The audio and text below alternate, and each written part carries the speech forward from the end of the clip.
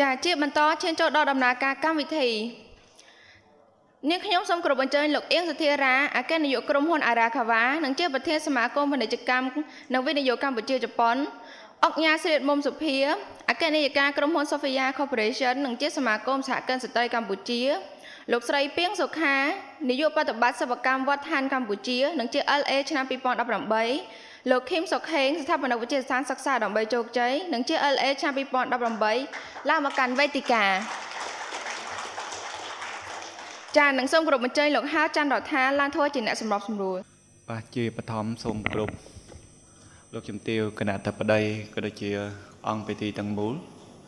ថ្ងៃនេះយើងឈានដល់ថ្ងៃទី3នៃទិវាភាពជាអ្នកដឹកនាំប្រចាំឆ្នាំ2020របស់យើង ហើយថ្ងៃនេះយើងពិតជា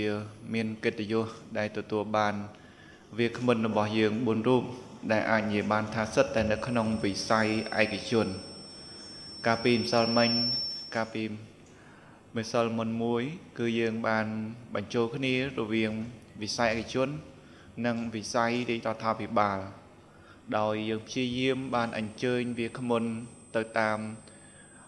វិស័យនីមួយៗក៏ដូចជាទៅតាមប្រធានបទរបស់យើង ក្នុងស្មារតីលើកកម្ពស់ការបង្កើតទម្លាប់ធ្វើការងារឲ្យខ្លាំងក្លានិងមានប្រសិទ្ធភាពខ្ពស់ចឹងក្នុងនោះយើងបានអញ្ជើញតាំងពីរាជបដិសភាកម្ពុជារបស់យើង យើងបានអញ្ជើញក្រសួងតំណាងក្រសួងការងារនិងបណ្ដុះបណ្ដាលវិជ្ជាជីវៈយើងបានអញ្ជើញតំណាង ក្រសួងមុខងារសាធារណៈក៏ដូចជាយើងបានអញ្ជើញតំណាងក្រសួងសេដ្ឋកិច្ចហិរញ្ញវត្ថុយើងបានអញ្ជើញតំណាងក្រសួងពាណិជ្ជកម្មអញ្ចឹងមានន័យថាយើងបានព្យាយាមបញ្ជ្រាបអ្វីដែលយើងត្រូវរួមគ្នាទាំងវិស័យឯកជន និងរាជរដ្ឋាភិបាលរបស់យើង ដើម្បីយើងធ្វើដំណើរទៅរួមគ្នា ក្នុងការសម្រេចបាន នៅប្រជាជាតិមួយ ដែលមានទម្លាប់ធ្វើការងារឲ្យខ្លាំងក្លា និងមានប្រសិទ្ធភាពខ្ពស់ អញ្ចឹងថ្ងៃនេះដោយយើងគិតថាជារឿងដែលយើងគិតខ្លាំងមែនទែនពាក់ព័ន្ធនឹងវិស័យរដ្ឋនិងឯកជន គឺខុសគ្នាតទៅទៅនឹងរឿងប្រសិទ្ធភាពក្នុងការគ្រប់គ្រងនៅក្នុងវិស័យឯកជន តែងតែមានអតិភិបក្នុងការគ្រប់គ្រងទៅលើរឿងវិស័យរឿងឯកជនហ្នឹងគឺរឿងតកតូននឹងប្រសិទ្ធភាពនឹងខ្លាំងចឹងហើយបានថ្ងៃនេះយើងសម្រេចចិត្តអញ្ជើញតកតងទៅនឹងវិស័យឯកជនទាំង4ដើម្បីមកព្យាយាមឬក៏ គិតដើម្បីរៀបចំយុទ្ធសាស្ត្រមួយឲ្យប្រជាជាតិរបស់យើងคล้ายទៅជាប្រជាជាតិដែលមានទម្លាប់ធ្វើការងារឲ្យមានប្រសិទ្ធភាពខ្ពស់ហើយយើងមានជំនឿថានៅក្នុងពិភពលោករបស់យើងនេះ នៅពេលដែលរដ្ឋាភិបាលកាន់តែបើកចំហរដ្ឋាភិបាលកាន់តែជឿនលឿនក៏ការដឹកនាំនៅក្នុងវិស័យសាធារណៈឬក៏រដ្ឋាភិបាលនឹងក៏ព្យាយាមយកតាមគេហៅ ឯកជនភាវនីយកម្មឬក៏ទៅតាមឯកជនដែរចឹងថ្ងៃនេះខ្ញុំគិតថាយើងពិតជាមានកិត្តិយសដែលបានអញ្ជើញវាគ្មិនទាំង4រូបគឺទី1អង្គការសេតមុំសុភាជាអគ្គនាយកបាទអឺ Sophia Corporation និងជាថ្ងៃនេះគឺតំណាងសមាគមសហគ្រិនស្ត្រីកម្ពុជាហើយ យើងក៏បានទទួលការអញ្ជើញពីលោកអៀងសុធារា ដែលជាអគ្គនាយកក្រុមហ៊ុនអារ៉ាកាវ៉ានៅកម្ពុជារបស់យើង និងក៏ជាប្រធានសមាគមពាណិជ្ជកម្មកម្ពុជាអឺពាណិជ្ជកម្មនិងវិនិយោគកម្ពុជាជប៉ុន យើងអាចនិយាយបានថាបើយើងនិយាយពីរឿងប្រសិទ្ធភាពជប៉ុនក៏នៅក្នុងជាគំរូនៃភាពលេចធ្លោមួយ ដែលអស្ចារ្យនៅក្នុងពិភពលោករបស់យើងដែរអញ្ចឹងយើងគិតថាតាមរយៈទី1គឺតំណាងសមាគមសហគ្រិនកម្ពុជាអីសមាទិសមាគមសហគ្រិនស្ត្រីកម្ពុជា បាទបូកនឹងសមាគមមានន័យថាអ្នកវិនិយោគកម្ពុជាជប៉ុន បូកបញ្ចូលគ្នាហើយអញ្ចឹងមានន័យថាប្រសិទ្ធភាពនៃការងារនោះគឺកើតឡើងអញ្ចឹងសូមអបអរសាទរទាំងអស់គ្នា មិនត្រឹមតែប៉ុណ្ណោះយើងទទួលបានវាគ្មិនមួយទៀតដែលសំខាន់ដែរយើងគិតថាកំពុងតែជជែកគ្នានៅខាងក្រៅមិញថាខ្មែរអង្គរគឺលោកស្រីពីងសុខាបាទលោកស្រីគឺជាម្ចាស់សហគ្រាសសិប្បកម្មវត្តឋានតំណាងនៃគេហៅថាអ្នកដែលមិនសូវមានឱកាស ហើយបានព្យាយាមជួយជំរុញជាពិសេសអ្នកដែលមិនអឺមិនសូវមានឱកាសរីរុងរឿងហ្នឹងគឺលោកស្រីបានព្យាយាមជួយបង្កើតសហគ្រាសវត្តឋានហ្នឹងគឺបើតាមថាជួយជួយជនពិការតែម្ដងហើយមិនត្រឹមតែប៉ុណ្ណោះលោកស្រីមើលរូបថតទៅ គឺដូចខ្មែរអង្គរហ្មងមិញគាត់ថាពីណាថាឲ្យគាត់ថាដូចទុំចេញពីពលពត មែនទេគឺខ្មែរអង្គរណាលឹងងើបចេញមកហើយនោះជើងពៀនរបស់គាត់សូមអបអរសាទរគាត់មួយមានន័យថាគាត់គឺជាអ្នកដែលមិនប្រកួត គឺមិនដឹងឡើងមកប្រកួត គឺបានคล้ายទៅជាឆាំភៀននៅក្នុងឆ្នាំ2018បាទហើយ2018ឥឡូវនេះគាត់ក៏ជាទូតសុចន្ទៈភាពជាអ្នកដឹកនាំនៅកម្ពុជារបស់យើងដែរអញ្ចឹងសូមអបអរម្សាទៀតទៅខ្មែរអង្គរ ប៉ុន្តែយ៉ាងណាក៏មិនភ្លេចណាបរោះខ្មែរអង្គរមួយទៀតខំពាក់មកតែមានរូបអង្គរច្រើនទេបាទស្មានតែអាចារ្យធ្វើគាត់ថាអត់ទេគាត់ថាគ្រូអាចារ្យណាហើយយើងមានសង្ឃឹមហើយ មានន័យថាយើងចង់ឲ្យការផ្សព្វផ្សាយរបស់យើងធ្វើម៉េចដើម្បីកសាងទម្លាប់កម្ពុជារបស់យើងឲ្យមានទម្លាប់ធ្វើការងារឲ្យខ្លាំងក្លាហើយនឹងមានប្រសិទ្ធភាពខ្ពស់ឥឡូវនេះយើងមានមានន័យថាគ្រូអាចារ្យក៏នៅទីហ្នឹង ហើយយើងមានទាំងគេហៅថារហស្សនាមដាតមាសទៀតនោះអញ្ចឹងបើជួយប៉ុណ្ណឹងមិនបានកាត់ដាតមាសចោលតែម្ដងចឹងសូមស្វាគមន៍លោកគ្រូឃឹមសុខេងបាទអូខេអញ្ចឹងវាគ្មិនទាំង4គឺថ្ងៃនេះយើងគិតថាជាកិត្តិយសដែលបានចូលរួមជួយធ្វើយ៉ាងម៉េចដើម្បីឲ្យប្រជាជាតិរបស់យើង មានទម្លាប់ធ្វើការងារឲ្យមានប្រសិទ្ធភាពខ្ពស់ យើងដឹងហើយថាអ្វីៗទាំងឡាយវាមិនមែនកើតឡើងដោយខ្លួនឯងទេ វាកើតឡើងតែងតែមានហេតុនិងផលរបស់វា ហើយកាលណាបើសិនជាគ្មានអ្នកបង្កើតទេ វាក៏អត់កើតឡើងដោយខ្លួនឯងដែរអញ្ចឹងដើម្បីឲ្យប្រជាជាតិរបស់យើងមានទម្លាប់ធ្វើការងារឲ្យមានប្រសិទ្ធភាពនោះ គឺត្រូវចាំបាច់ឲ្យមានអ្នកអ្នកដែលទទួលខុសត្រូវនៅក្នុងការបង្កើតវាអញ្ចឹងថ្ងៃនេះ អាចចាត់ទុកថាជានិមិត្តរូប4នាក់ដែលយើងបានមានសំណាងទេវតាយើងជួបគ្នាអញ្ចឹងនិស័យទេវតាយើងជួបគ្នាហើយជាពិសេសទេវតាបានអឺចាត់ចែងការងារឲ្យវាគ្មិនទាំង4ហើយត្រូវជួយមានន័យថាវរៈបដោះកម្ពុជាមិញយើងច្រៀងឲ្យបទពងសាវតាខ្មែរយើងអញ្ចឹងសង្ឃឹមថាចូលមកសន្ធិដ្ឋវាគ្មិនរបស់យើងទាំង4 ហើយមានស្មារតីទទួលខុសត្រូវពេញលេញនៅក្នុងការចូលរួមជួយធ្វើយ៉ាងម៉េចដើម្បីយើងបង្កើតយុទ្ធសាស្ត្រយ៉ាងម៉េចដើម្បីឲ្យឲ្យជាតិខ្មែររបស់យើងមានទម្លាប់ធ្វើការងារឲ្យមានប្រសិទ្ធភាពខ្ពស់ចឹងដើម្បីកុំឲ្យខាតពេលខ្ញុំគិតថាយើងចាប់ផ្ដើមចូលទៅកម្មវិធីតែម្ដង តែសូមវាគ្មិនត្រូវចាំថាថ្ងៃនេះយើងនិយាយតែពាក្យយុទ្ធសាស្ត្រក្នុងការបង្កើតប្រជាជាតិរបស់យើងមានន័យថាយុទ្ធសាស្ត្រក្នុងការបង្កើត ឲ្យប្រជាជាតិរបស់យើងមានទម្លាប់ធ្វើការងារឲ្យមានប្រសិទ្ធភាពខ្ពស់ខ្ញុំគិតថាធ្វើការឲ្យខ្លាំងស្រួលទេព្រោះយើងប្រឹងគឺធ្វើបាន យើងខំយើងធ្វើបានប៉ុន្តែពាក់ព័ន្ធនឹងធ្វើឲ្យមានប្រសិទ្ធភាពនេះ គឺជារឿងមួយដ៏លំបាកសង្ឃឹមថាវាគ្មិនទាំង4នឹងចូលរួមជួយ ឲ្យធ្វើយ៉ាងម៉េចដើម្បីឲ្យប្រជាជាតិរបស់យើងរស់ឃើញថាបើចង់ធ្វើការងារឲ្យមានប្រសិទ្ធភាពខ្ពស់គឺយើងត្រូវប្រើយុទ្ធសាស្ត្រនេះយុទ្ធសាស្ត្រនេះគឺតាមវាគ្មិនរបស់យើងអញ្ចឹងដើម្បីកុំឲ្យខាតពេលសូមធ្វើការវាគ្មិនរបស់យើងចាប់ផ្ដើមធ្វើបង្ហាញខ្លួនបន្តិចដើម្បីឲ្យបងប្អូនរបស់យើងស្គាល់ក៏ដូចជាអឺមានអ្វីបន្តិចដើម្បីមានចំណាប់អារម្មណ៍តកតងទៅនឹងអឺ ការកសាងយុទ្ធសាស្ត្រឲ្យប្រជាជាតិរបស់យើងមានទម្លាប់ធ្វើការងារឲ្យខ្លាំងធ្វើការងារឲ្យមានប្រសិទ្ធភាពខ្ពស់នឹងអញ្ចឹងខ្ញុំសូមអញ្ជើញពីលោកអៀងសុធារាមុនសូមសូមស្វាគមន៍ទាំងអស់គ្នា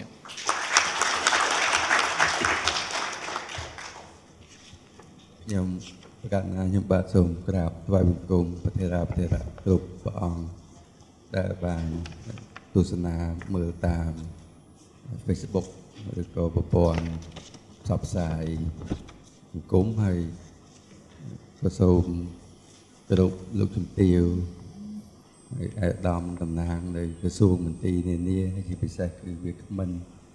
ទាំងអស់ហើយជាពិសេសជាងនឹងទៅទៀតគឺលោកហៅចន្ទរដ្ឋាដែលអ្នករៀបចំនិងបងប្អូនទាំងអស់គ្នាខ្ញុំបាទឈ្មោះអៀងសធិរាស្រុកកំណើតនៅខាងស្រុកបាភ្នំខេត្តព្រៃវែងហើយចាប់ផ្ដើមរស់ស៊ីតាំងពីអាយុ6ឆ្នាំ ហើយឥឡូវនេះអាយុ70ហើយអញ្ចឹងប្រធានបទថ្ងៃនេះខ្ញុំបញ្ញាចិត្តតាំងពីឃើញដំបូងមកថាប្រឹងយកអស់កម្លាំងកាយកម្លាំងចិត្តដើម្បីជួយជាយោបល់តែមានបទពិសោធន៍ទាំងប្រមាណហ្នឹងយកមកជួយចែករំលែកដល់ទាំងអស់គ្នាបាទហើយខ្ញុំបាទនេះធ្វើការជាមួយ បរទេសច្រើនមានសិង្ហបុរីម៉ាឡេថៃកូរ៉េតៃវ៉ាន់ចិនដីគោកជប៉ុនហើយជប៉ុនធ្វើរហូតដល់សប្តាហ៍នេះគឺការងារជាមួយជប៉ុនហើយក៏ជាប្រធានសមាគមអ្នកពាណិជ្ជកម្មនិងវិនិយោគជប៉ុនដែរដែលហៅថា CJBI ហើយ កិច្ចការកន្លងមកហ្នឹងគឺប្រឹងធ្វើណាស់ដូចជាការវិនិយោគអីទាំងអស់ហ្នឹងប្រឹងធ្វើមានហោហែមកជាមួយជប៉ុនជាមួយអីខ្លះហើយក៏ព្យាយាមបានបង្កើតទៅជារមណីយដ្ឋានពេជ្រនិចតាមផ្លូវជាតិលេខ4អីទាំងអស់ហ្នឹងគឺខ្ញុំចង់យកបទពិសោធន៍ទាំងអស់ហ្នឹងយកមកដើម្បីជំរាបប្រាប់បងប្អូនយើងទាំងអស់គ្នាដែលនៅទីនេះរួមនឹងអ្នក មើលតាមប្រព័ន្ធអនឡាញនេះថាធ្វើយ៉ាងម៉េចឲ្យមាន ប្រសិទ្ធភាពបាទឲ្យមានប្រសិទ្ធភាពខ្ពស់នឹងនេះមានពាក្យខ្ពស់មួយទៀតថាធ្វើម៉េចឲ្យមានប្រសិទ្ធភាពខ្ពស់តាមបែបណានោះខ្ញុំនឹងឆ្លើយនៅពេលដែលកម្មវិធីមកដល់បាទសូមអរគុណ បាទអរគុណច្រើនចំពោះលោកអៀងសុធារា ដែលបានចាប់ផ្ដើមពីអាជីវកម្មតាំងពីអាយុ6ឆ្នាំរហូតមកដល់7 60ឆ្នាំ មានន័យថា10ឆ្នាំមានប៉ុន្មានដង មាន6ដងហើយណាអញ្ចឹងទេយើងគិតថាតាមរយៈនៃបទពិសោធន៍នេះលោកមានឆន្ទៈនៅក្នុងការចែករំលែកឬក៏ផ្ទេរទៅប្រជាជាតិរបស់យើងអញ្ចឹងយើងគិតថាពិតជាល្អមួយសម្រាប់ពហុនៃបទពិសោធន៍ដែលលោកទទួលបាន ហើយលោកគិតថាជាមនុស្សម្នាក់នៃនិមិត្តរូបនៃការធ្វើកិច្ចការងារដែលមានប្រសិទ្ធភាពមិនថាលោកធ្វើអីគឺលោកធ្វើនឹងបាន ធ្វើកសិកម្មក៏ជាកសិករកសិកម្មខាងសរីរាង្គលោកធ្វើបានមានន័យថាបាទកសិករសរីរាង្គកសិករសរីរាង្គកសិករសរីរាង្គអ្នកដែលធ្វើកសិកម្មគឺលំបាកលំបាកធ្វើអត់បានប៉ុន្តែលោកធ្វើបានហើយមិនត្រឹមតែប៉ុណ្ណោះ មានន័យថាធ្វើអារាកវ៉ាជាអ្នកដែលនាំនៅលំនៅឋានអារាកវ៉ាដែលចាត់ទុកថាជាលំនៅឋាន ដែលមានស្តង់ដារជប៉ុននៅកម្ពុជា ហើយបើចង់ដឹងថាជប៉ុននឹងរស់នៅយ៉ាងម៉េចគឺសូមទៅអញ្ជើញជាវអារាកាវ៉ាគាត់សើគាត់សប្បាយចិត្តបាទចូលនៅសាកដឹងថាជប៉ុនរស់នៅម៉េចដែលហៅថាប្រសិទ្ធភាពនឹង មិនមិនជាការ promotion ទេប៉ុន្តែជាការពិតគឺគាត់បានកំពុងនឹងធ្វើមែនអូខេខ្ញុំគិតថាជាអ្វីដែលសំខាន់បន្តសូមអញ្ជើញអុកញ៉ាសេតមុំសុភាសូមអញ្ជើញ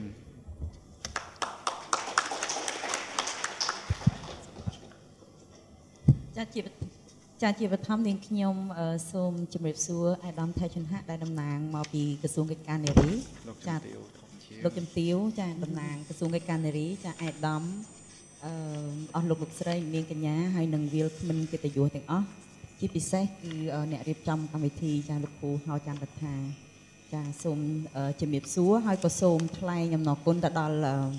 ម្ចាស់រៀបរៀបចំកម្មវិធីដែលតែងតែ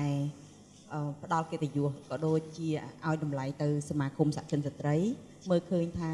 សមាគមសហគមន៍ស្ត្រីគឺជាការរួមចំណែកដ៏ធំមួយដែល ក្នុងនាមជាស្ត្រីអាជីវកម្មក៏ដូចស្ត្រីដែលកំពុងតែស្វែងរកអាជីវកម្មឲ្យคล้ายទៅជាអ្នកដឹកនាំមួយដែលមានប្រសិទ្ធភាពចា៎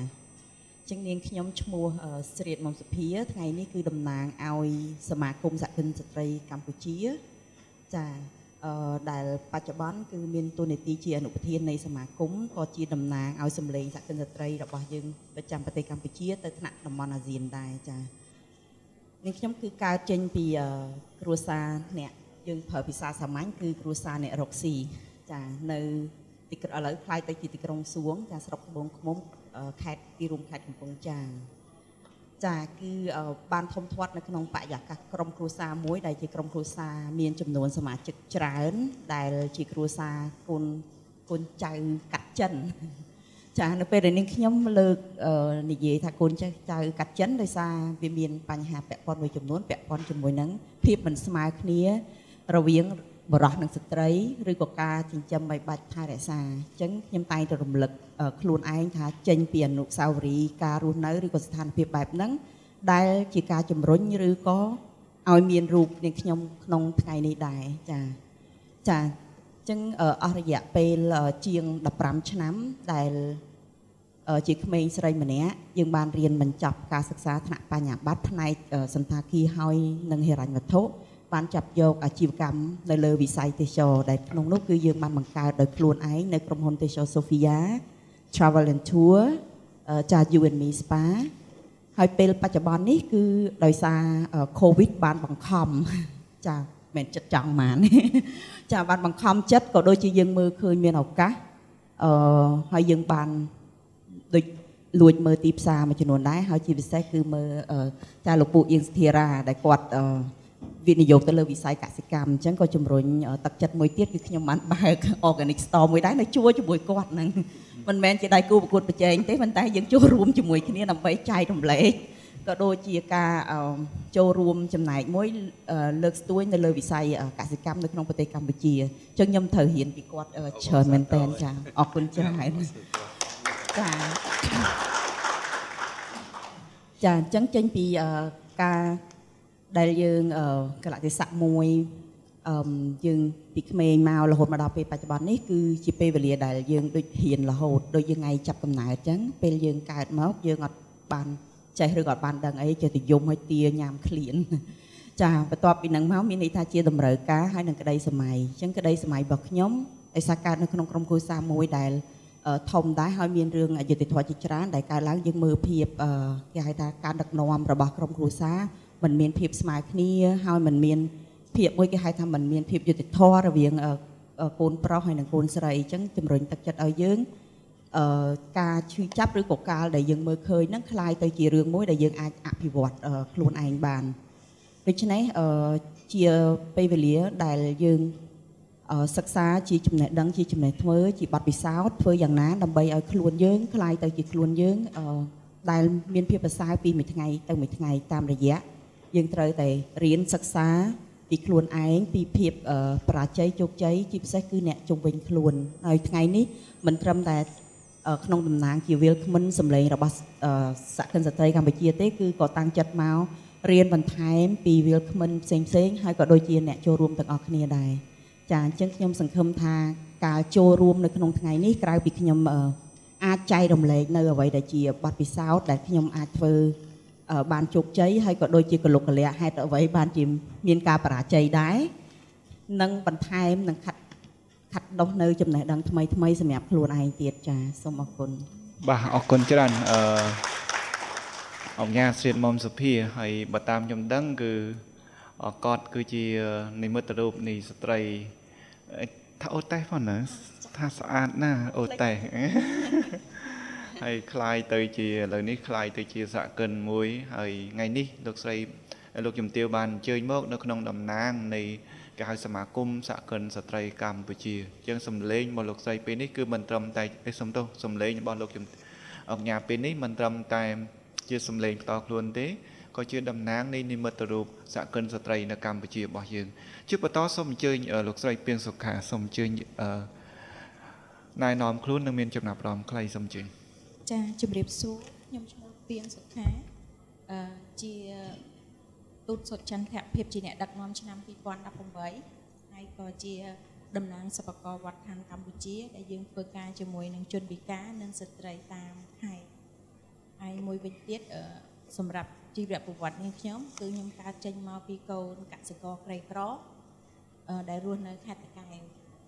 តែអឺមានក្តីសុបិនតាំងពីតូចអឺពេលដែលទៅស្រែចង់ធំឡើងคล้ายទៅជាម្ចាស់ ហាងលក់វត្ថុអនុស្សាវរីយ៍និងអូតិកអូតែអូតែអូតិកហូថែលមួយហើយពេលនោះអ្នកភូមិគេសើចថាអានេះអឺសន្លឹងខ្ពស់ពេកហើយកំពុងតែស្ទង់ស្រែក្តៅយ៉ាងហ្នឹងទៅសម័យអីក៏ធំយ៉ាងនេះហើយខ្ញុំអត់ដែរបោះបង់ក្តីសុបិនទេព្រោះខ្ញុំអត់ដែរគិតថាខ្ញុំមកពីណាទេតែខ្ញុំតែងតែដឹងថាខ្ញុំត្រូវទៅណាអញ្ចឹង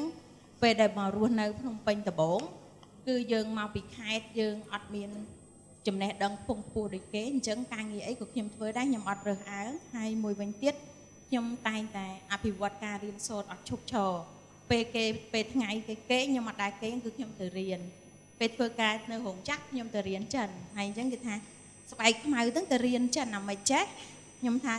ចំណេះដឹងអត់មើលស្បែកទេខ្ញុំមានក្តីសុបិនពេលធ្វើការជាកម្មកររោងចក្រខ្ញុំចង់ធ្វើការក្នុង office ខ្ញុំមើល office ហ្នឹងគេធ្វើអីអញ្ចឹងខ្ញុំក៏ទៅរៀនអញ្ចឹងជារួមក្តីសុបិនខ្ញុំសម្រេចពីមួយ step ទៅមួយ step ដោយសារការខំប្រឹងប្រឹងខំប្រឹងប្រែងហើយថ្ងៃនេះទាសោតខ្ញុំមកដើម្បីចែករំលែកនៅបទពិសោធន៍ជីវិតពិតដែលយើងអាចអានសិភៅឃើញយុទ្ធអនុសាសន៍ជាច្រើនដែលគេទៅសរសេរមកប៉ុន្តែរឿងដែលយើងអាចធ្វើបានមិនបានវាស្ថិតនៅលើសមាបុគ្គលមួយមួយដែលយើងអនុវត្តជាក់ស្ដែងគឺខ្ញុំមកចែកពីជីវិតពិតដែលខ្ញុំឆ្លងកាត់ ទៅដល់អង្គពិធីទាំងមូលនិងការ live ផ្ទាល់នៅក្នុងប្រទេសរបស់យើងថាតើយើងគួរទៅធ្វើយ៉ាងម៉េចដើម្បីឲ្យមានទម្លាប់ធ្វើការខ្លាំងក្លានិងទទួលបានប្រសិទ្ធភាពខ្ពស់ចា៎អរគុណច្រើនបាទអរគុណច្រើនដល់លោកស្រីពីសុខា ជាបន្តសូមអញ្ជើញលោកគ្រូឃឹមសុខេងសូមអញ្ជើញលោកគ្រូ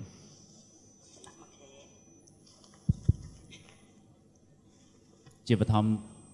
ទូព្រះអង្គមខ្ញុំកណ្ណាសូមក្រាបថ្វាយបង្គំកណ្ណាគុណចាស់គ្រប់អង្គដែលកំពុងតែទេសនាតាម បណ្ដាញសង្គមរបស់លោកគ្រូហៅច័ន្ទរដ្ឋាហើយនឹងទូតសុឆន្ទៈហើយនឹងបណ្ដាញផ្សេងផ្សេងជាច្រើនទៀតដែលបានផ្សព្វផ្សាយខ្ញុំឃើញមានច្រើននៅសូមគោរពលោកជំទាវគណៈធិបតីសូមគោរពគណៈវិក្កាមិនទាំងអស់សូមគោរពបងប្អូនទាំងអស់គ្នាខ្ញុំបាទឈ្មោះឃីមសុកហេងកាលពី39ឆ្នាំមុន បានចាប់កំណើតនៅក្នុងផ្ទៃនៃផែនដីយើងនេះតាមរយៈម្ដាយខ្ញុំនៅក្នុងព្រៃមិនមែនព្រៃហេមពៀនមិនមែនព្រៃអាម៉ាហ្សូនគឺព្រៃវែងខ្ញុំនៅស្រុកព្រៃវែងខេត្តព្រៃវែងហើយអឺរំភើបរីករាយសប្បាយចិត្តដែលបានចូលរួមនៅក្នុងឱកាសដ៏ពិសេសនេះខ្ញុំជា កូនកសិករហើយក៏ជាកសិករដែរប៉ុន្តែចេះតែប្រឹងប្រឹងទៅឥឡូវនេះមកក្បែរក្បែរពាណិជ្ជករបាទកដូចគ្នាហើយខ្ញុំផ្ដើមចេញពីអឺអ្នកសិក្សារៀនសូត្រហើយក៏បានស្រឡាញ់ការងារជាអ្នកអឺផ្សព្វផ្សាយជាអ្នកអប់រំអញ្ចឹងក៏បានផ្ដើមទៅគេហៅលោកគ្រូ បច្ចុប្បន្ននេះគឺលោកគ្រូបាទដល់ពេលថ្ងៃនេះពាក់អាវនេះពាក់ម្ដងគេហៅអាចារ្យអញ្ចឹងបូកបញ្ចូលគ្នាលោកគ្រូអាចារ្យតែសូមអភ័យទោសពីលោកគ្រូអាចារ្យទាំងអស់បាទមិនតាន់រៀនផងបាទអញ្ចឹងអឺខ្ញុំមានអឺវិទ្យាស្ថានសិក្សាដើម្បីជោគជ័យដែលជាគ្រឹះស្ថានកម្រិតឧត្តមសិក្សា ដែលផ្ដល់ថ្នាក់បញ្ញាបត្រអីបានជូនទៅដល់ បងប្អូនកូនខ្មែរយើងមួយចំនួន ដែលគាត់ចាប់អារម្មណ៍ចង់រៀនសូត្រហើយខ្ញុំមានក្រុមហ៊ុនស្ថាបនិកសហស្ថាបនិកក្រុមហ៊ុន CIC ហើយបច្ចុប្បន្នខ្ញុំជា Chair Member ជាប្រធានសមាជិកចំនួន350ក្រុមហ៊ុន ដែលនៅក្នុងដៃហើយកំពុងតែធ្វើការយ៉ាងសស្រាក់សស្រាំ ដើម្បីជួយលើកកម្ពស់ជីវភាពរបស់ប្រជាជន និងចូលរួមចំណែកក្នុងការជួយលើកកម្ពស់សេដ្ឋកិច្ចរបស់ជាតិហើយជួយបង្កើនបង្កើតនិងបង្កើនការងារសម្រាប់កូនខ្មែរយើងឲ្យធ្វើការបានច្រើន ហើយជួយពង្រឹងពង្រីកនិងពង្លឿនសហគ្រិនក៏ដូចជាម្ចាស់អាជីវកម្មនៅក្នុងស្រុក ហើយក្នុងគណៈពេល COVID-19 នេះ បានជំរុញឲ្យខ្ញុំពង្រីកនៅមុខរបរពង្រីកនៅអាជីវកម្មរបស់ខ្ញុំគឺការអប់រំការ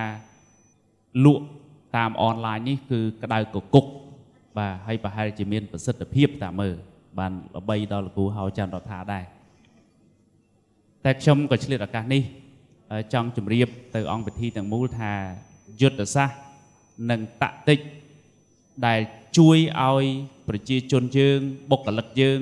មានទម្លាប់ធ្វើការងារខ្លាំងក្លានេះវាជាកិត្តិយសវាជាតម្លៃរបស់ប្រជាជាតិយើងហើយជាតម្លៃរបស់សង្គមយើង នៅពេលដែលយើងคลายទៅជាបុគ្គលដែលប្រកបដោយគុណភាពតាមរយៈធ្វើការងារឲ្យមានប្រសិទ្ធភាពអញ្ចឹងខ្ញុំនឹង មានអ្វីតិចតួចប៉ុន្តែនេះជួបលោកគ្រូអញ្ចឹងដូចរៀងដូចចង់ភ័យភ័យមិនទេអញ្ចឹងសូមប៉ុណ្្នឹងសិនអរគុណបាទអរគុណច្រើនលោកគ្រូឃឹមសុខេងបាទសូមជម្រាបទៅបងប្អូនទស្សនិកជនក៏ដូចជាបងប្អូនដែលមានវត្តមាននៅទីនេះក៏ដូចជាគណៈធិបតីទាំងអស់ថាអ្វីដែលយើងកំពុងតែមានអឺកម្មវិធីរបស់យើងនៅពេលនេះគឺកំពុងតែធ្វើការផ្សព្វផ្សាយ ដោយបន្តផ្ទាល់ទៅเพจរដ្ឋា leadership អញ្ចឹងអឺបងប្អូនដែលមិនតន់បានជួយ like ជួយ share ថ្ងៃនេះគឺជាថ្ងៃចុងក្រោយហើយពីរថ្ងៃមកអត់ដែរសុំទេអញ្ចឹងជួយ like និង share ដើម្បីឲ្យកម្មវិធីរបស់យើងថ្ងៃនេះ បានជ្រាបទៅប្រជាជាតិរបស់យើងទាំងមូលខ្ញុំជឿថាតាមរយៈ friend របស់ fan fan របស់ fan យើងបូកបញ្ចូលគ្នា គឺនោះយើងនឹងទទួល បានថាប្រជាជាតិរបស់យើង គឺនឹងដឹងថាកម្ពុជាមានទិវាភាពជាអ្នកដឹកនាំកម្ពុជាគឺកំពុងតែជជែកគ្នានៅក្រសួងកិច្ចការនារីអំពីតកតងទៅនឹងការបង្កើតទម្លាប់ធ្វើការងារឲ្យខ្លាំងក្លា និងមានប្រសិទ្ធភាពខ្ពស់ហើយជាពិសេសវេលាម៉ោង1ទៅទល់ម៉ោង8នេះនឹងមានឱកាសជួប idol ប្រកួតជាមួយនឹង idol ណាអ្នកអណ្ដាតមាសឡើងសាក់ថ្មីមាសអណ្ដាតរបស់ខ្លួន ណាអញ្ចឹងតើយ៉ាងណានោះសូមបងប្អូនជួយដើម្បីឲ្យប្រជាជាតិរបស់យើងមានឱកាសបានភ្លក់រសជាតិទាំងអស់ហ្នឹងណាអញ្ចឹងមិនមិនប្រម៉ូសិនលោកគ្រូហេងទេប៉ុន្តែលោកគ្រូហេងក៏ជាបេក្ខជនមួយដែលនឹងត្រូវឡើងប្រកួតដើម្បីដណ្ដើមជើងពានកម្ពុជាផងដែរអញ្ចឹងសូមអបអរសាទរមួយអូខេថ្ងៃនេះយើងនិយាយពីយុទ្ធសាស្ត្រហើយសូម ឲ្យបងប្អូនទាំងអស់គ្នាជាពិសេសយើងនាំគ្នាទៅគិតពីរឿងការដែលយើងបង្កើតយុទ្ធសាស្ត្រមួយឬក៏យុទ្ធសាស្ត្រយ៉ាងម៉េចក៏ដោយដើម្បីឲ្យប្រជាជាតិរបស់យើងមានទម្លាប់ធ្វើការងារឲ្យមានប្រសិទ្ធភាពខ្ពស់នៅក្នុងនោះខ្ញុំចង់ទាញអារម្មណ៍វាគ្មិនរបស់យើងទាំង4ថាបើសិនជាយើងមានពេលតែ5នាទីនៅក្នុងការនិយាយដើម្បីធ្វើយ៉ាងម៉េចឲ្យប្រជាជាតិរបស់យើង រកឃើញមានន័យថាយុទ្ធសាស្ត្ររបស់យើងមានន័យថាយុទ្ធសាស្ត្រធ្វើឲ្យមានទម្លាប់ធ្វើការងារមានប្រសិទ្ធភាពខ្ពស់នោះតើធ្វើម៉េចប៉ុន្តែកុំកុំគិតទូចគិតឲ្យធំហ្មងថាឥឡូវនេះយើងបានរកឃើញថាអ្វីដែលយើងកំពុងធ្វើគឺតាក់ទងទៅនឹងយុទ្ធសាស្ត្រចតកោណរបស់រាជរដ្ឋាភិបាលដល់2សំខាន់មានន័យថានៅក្នុងនោះគឺទី1និយាយពីកំណើន គឺអាចនិយាយថាពាក់ព័ន្ធនឹងប្រសិទ្ធភាពដែលយើងកំពុងតែនិយាយនេះតែម្ដងធ្វើការឲ្យមានប្រសិទ្ធភាពទី2តកតូននឹងការងារឥឡូវដល់3ហ្នឹងអញ្ចឹងកំណើនក៏ចូល ទី2យុទ្ធសាស្ត្រទី2គឺការងារក៏ចូលសមភាព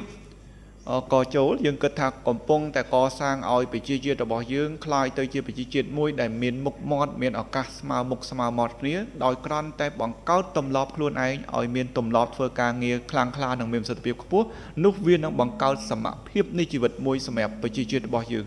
ប៉ុន្តែអ្វីដែលចុងក្រោយនៅក្នុងយុទ្ធសាស្ត្រទីចតកោណទី4នោះគឺប្រសិទ្ធភាពអញ្ចឹងដូចជាកំពុងតែចំនឹងវាគ្មុនទាំង4ដែលកំពុងជជែកគ្នានេះ គឺនិយាយពីប្រសិទ្ធភាពអញ្ចឹងឧទាហរណ៍ឬក៏ថាការពិតមួយវាគ្មិនទាំង4គឺជាឋានៈដឹកនាំដែលត្រូវតែបង្កើតចិត្តសាស្ត្រទី4ឲ្យคล้ายទៅជាយុទ្ធសាស្ត្រការពិតមានន័យថាធ្វើម៉េចដើម្បីកសាងប្រជាជាតិរបស់យើងឲ្យមានទម្លាប់ធ្វើការងារឲ្យមានប្រសិទ្ធភាពខ្ពស់ អញ្ចឹងវាគ្មិនម្នាក់ម្នាក់ទាំង4ចាត់ទុកដូចជាទីប្រឹក្សារបស់សម្ដេចនាយករដ្ឋមន្ត្រីយើងឬក៏ប្រទេសជាតិរបស់យើង ដែលត្រូវតែបង្ព្យាយាមមានន័យថាបង្ហាញជូននៅយុទ្ធសាស្ត្រដើម្បីឲ្យសម្រេចជោគជ័យនៅយុទ្ធសាស្ត្រទី4ហ្នឹងអញ្ចឹងក្នុងរយៈពេល5នាទីសូមបង្ហាញយុទ្ធសាស្ត្រដែលយើងគិតថា ខ្លីខ្លឹមហើយដាក់ទៅគឺមានប្រសិទ្ធភាពហ្នឹងគឺសូមចាប់ផ្ដើម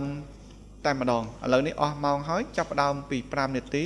សូមអញ្ចឹងអាចថាកុំអោយមិនអោយតម្លៃស្ត្រីសូមអញ្ជើញពីអុកញ៉ាស្រីមុំសុភា5នាទីធ្វើយ៉ាងម៉េចបង្កើតយុទ្ធសាស្ត្រ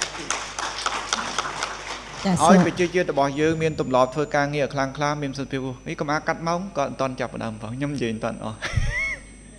5នាទីមានតម្លៃដាក់ដាក់ដាក់5នាទីឲ្យគាត់វិញកុំកាត់គាត់អញ្ចឹងបើជួបមួយយុរដ្ឋមន្ត្រីពេលវេលា5នាទីពេលវេលាមានណាអូខេសូមសូមអញ្ជើញលោក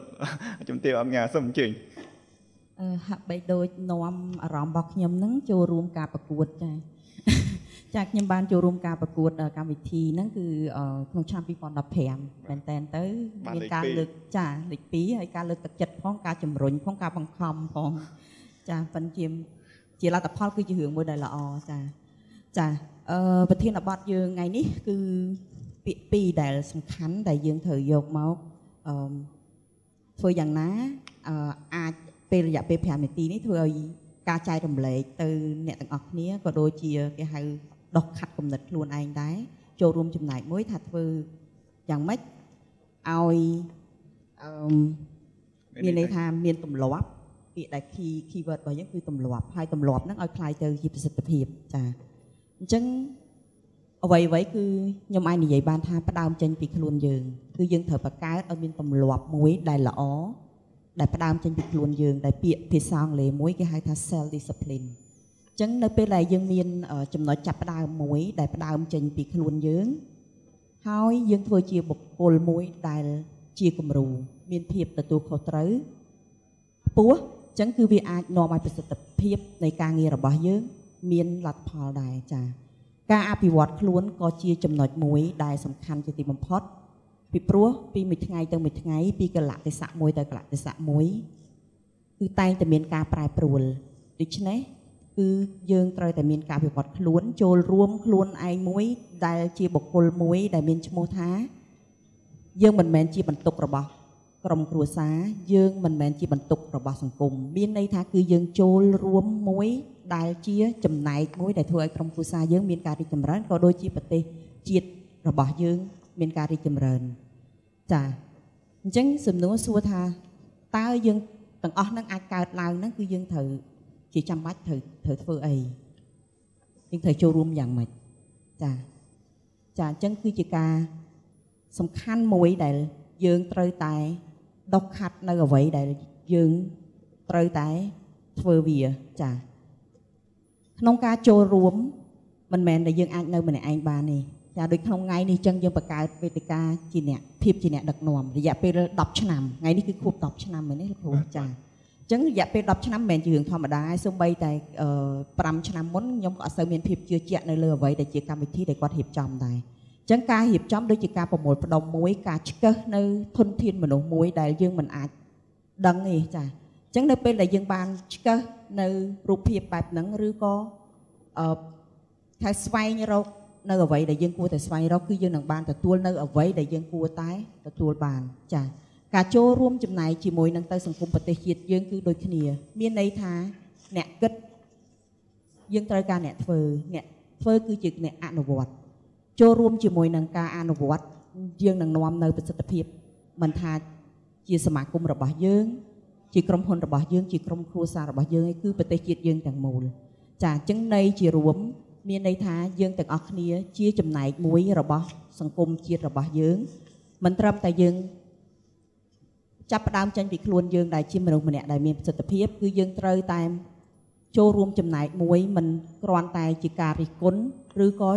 ជាការមួយមានយោបល់គឺយើងត្រូវអនុវត្តការអនុវត្តបានមានប្រសិទ្ធភាពខ្ញុំនិយាយន័យជារួមមានន័យថាចាប់ផ្ដើមចេញពីខ្លួនយើងគឺយើងមានវិន័យផ្ទាល់ខ្លួនរបស់ខ្លួនយើងគឺការស្រាវជ្រាវបន្ថែមដោះខាត់នៅគំនិតយើងគាស់នៅគំនិតយើងទាំងឡាយដើម្បីចូលរួមចំណែកជាមួយនឹងសង្គមជាតិរបស់យើងចា អញ្ចឹងខ្ញុំសូមធ្វើការសរុបន័យមកការចាប់ផ្ដើមមានវិន័យខ្លួនឯងការអនុវត្តលើខ្លួនឯងមានប្រសិទ្ធភាពជាគំរូមួយដែលល្អយើងនឹងចូលរួមចំណែកនៅក្នុងសង្គមរបស់យើងចាប់ផ្ដើមចេញពីថ្ងៃទី1ហើយនឹងគ្មានថ្ងៃបញ្ចប់មានថាយើងត្រូវមានគំនិតមួយដែលมันមានដែនកំណត់ ចាការចែករំលែកគឺក៏มันមានដែនកំណត់ដែរចាអញ្ចឹងខ្ញុំសូមចូលរួមប៉ុណ្ណឹងនៅសល់នីតិដែរ បាទអរគុណច្រើនអឺចំពោះ អង្គញាសៀនមុំសុភាដែលបានចូលរួមនៅក្នុងការធ្វើបង្កើតចិត្តសាស្ត្រយ៉ាងម៉េចដើម្បីឲ្យប្រជាជាតិរបស់យើងមានទម្លាប់ធ្វើការងារឲ្យខ្លាំងឲ្យមានប្រសិទ្ធភាពខ្ពស់គឺលោកអង្គញាបានចែករំលែកសំខាន់ពាក្យគេហៅថា discipline ចេញពីខ្លួនយើងមានន័យថា discipline ទី2ពាក្យទទួលខុសត្រូវមានន័យថា responsibility ហើយទី3គឺតកតងនឹងពាក្យ grow គឺការរីចម្រើន ហើយនឹងពាក្យទី4គឺគំរូ model ហើយនឹងពាក្យទី5គឺ participation ជាងអាចនិយាយថាជា key word ដែលអង្គញាបានចែករំលែកជាបន្តសូមអញ្ជើញ lady មួយទៀតចុះឲ្យថាម lady first កុំឲ្យថាមនៅក្រសួងកិច្ចការនារីមិនយល់ចិត្តក្រសួងកិច្ចការនារីអរគុណចាជម្រាបសួរពិធីទាំងមូលថ្ងៃនេះនាងខ្ញុំសូមចែករំលែកដើម្បី យុទ្ធសាស្ត្រកសាងប្រជាជាតិយើងឲ្យមានទម្លាប់ធ្វើការខ្លាំងក្លាឲ្យមានប្រសិទ្ធភាពខ្ពស់យើងផ្ដោតលើប្រសិទ្ធភាពខ្ពស់ប្រសិទ្ធភាពខ្ពស់ក្នុងនឹងសម្រាប់នាងខ្ញុំគឺយើងមានដូចជាទី1ត្រូវមានគោលដៅច្បាស់លាស់បើសិនចង់បានប្រសិទ្ធភាពគឺផ្ដោតទៅលើគោលដៅនៅពេលយើងមានគោលដៅយើងនឹងធ្វើទៅតាមគោលដៅដែលយើងបានដៅទុកហើយទី2គឺការបដិញ្ញាចិត្ត ទី3សេចក្តីស្រឡាញ់នៅពេលដែលយើងស្រឡាញ់បូកនឹងបដិញ្ញាចិត្តយើងនឹងសម្រេចបានប្រសិទ្ធចេះរក្សាភាពថ្លៃថ្នូរ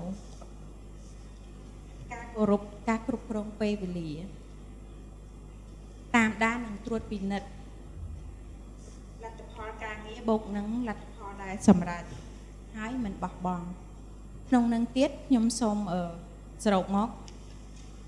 មួយទៀតគឺយើងត្រូវមានក្តីសុបិន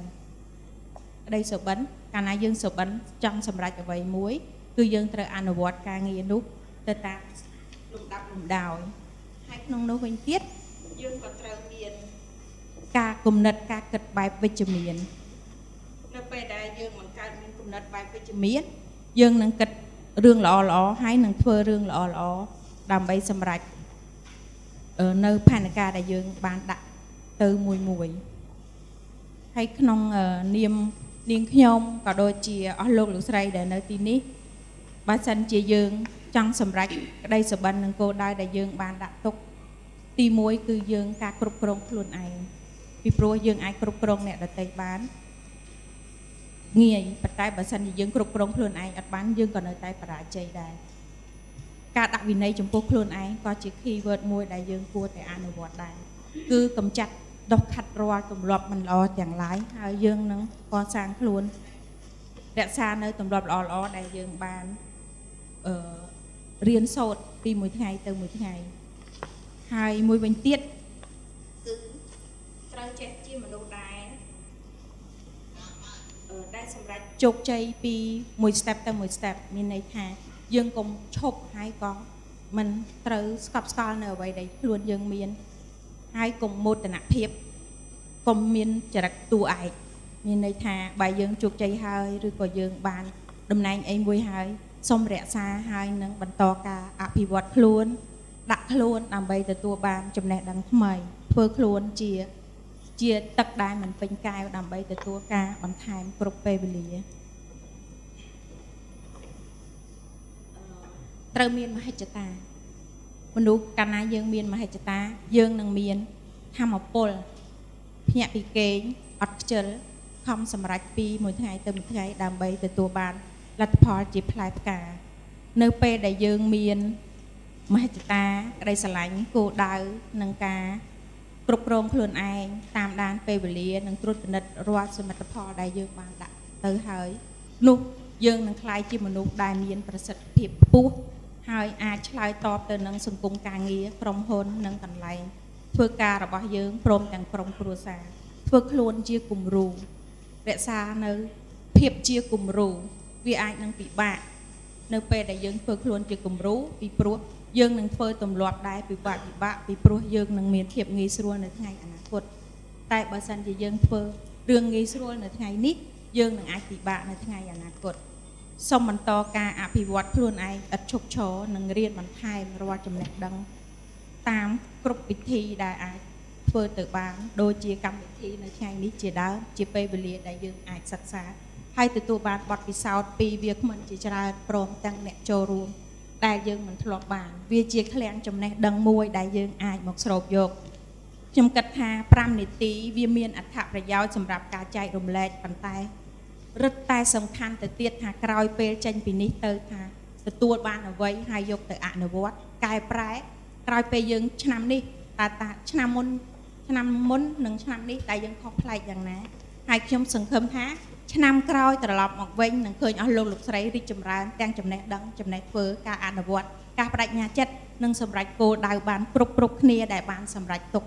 ហើយនឹងក្លាយជាមនុស្សដ៏ល្អជាឪពុកម៉ែដ៏ល្អនិងជានិស្សិតជាកូនដ៏ល្អសម្រាប់ប្រទេសជាតិយើងនេះហើយជាអ្វីដែលជាតិយើងចង់បានចាសូមអរគុណច្រើនបាទអរគុណច្រើនអឺលោកស្រីអឺពីងសុខាលោកស្រីបានចូលរួមក្នុងការចែករំលែកច្រើនពាក់ព័ន្ធទៅនឹងអឺយុទ្ធសាស្ត្រហ្នឹងគឺទាមទារឲ្យមានអឺគោលដៅមានការបដិញ្ញា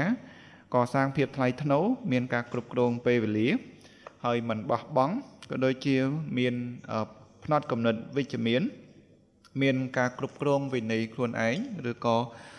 ព្យាយាមបន្តអភិវឌ្ឍរហូតទៅដល់ការដែលមានមហិច្ឆតាឬក៏កសាងភាពជាគំរូចុះលោកគ្រូខៀមសុខេងសូមសូមអញ្ជើញលោកគ្រូ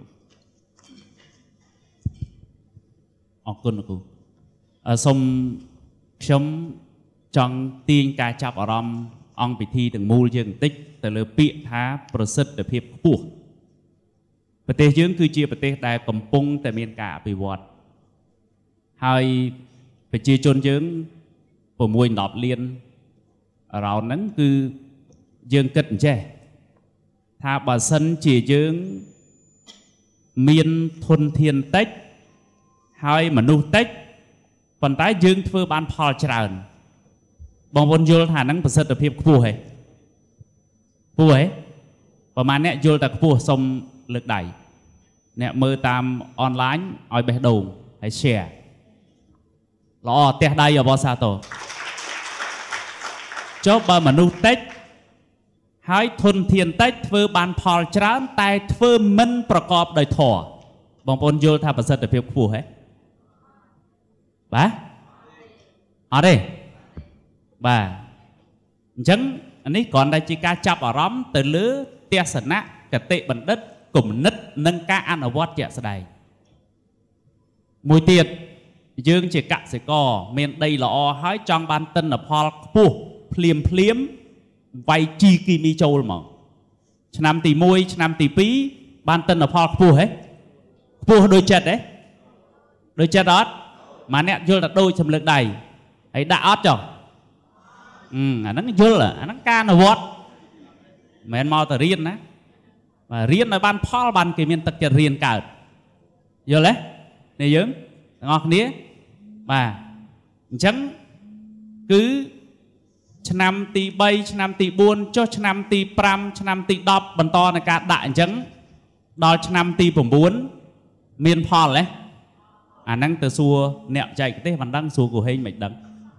បាទនេះគេពិសោធន៍ណាបាទអញ្ចឹងទេ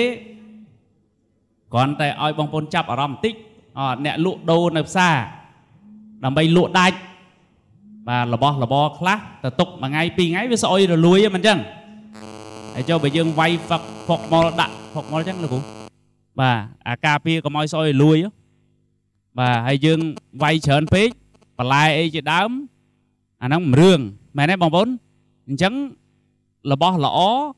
រក្សាទុកបានយូរលក់ទៅស្រស់ល្អដាច់ យើងបានលុយមែនបើខ្ញុំអ្នកលក់បានលុយមែនចុះបើសុខុមាលភាពប្រជាជនយើងប្រជាជនយើងយកទៅហូបរយៈពេលយូរទៅ សុខភាពគាត់យ៉ាងម៉េចបាទទ្រុឌទ្រោមអានឹងប្រសិទ្ធភាពខ្ពស់អត់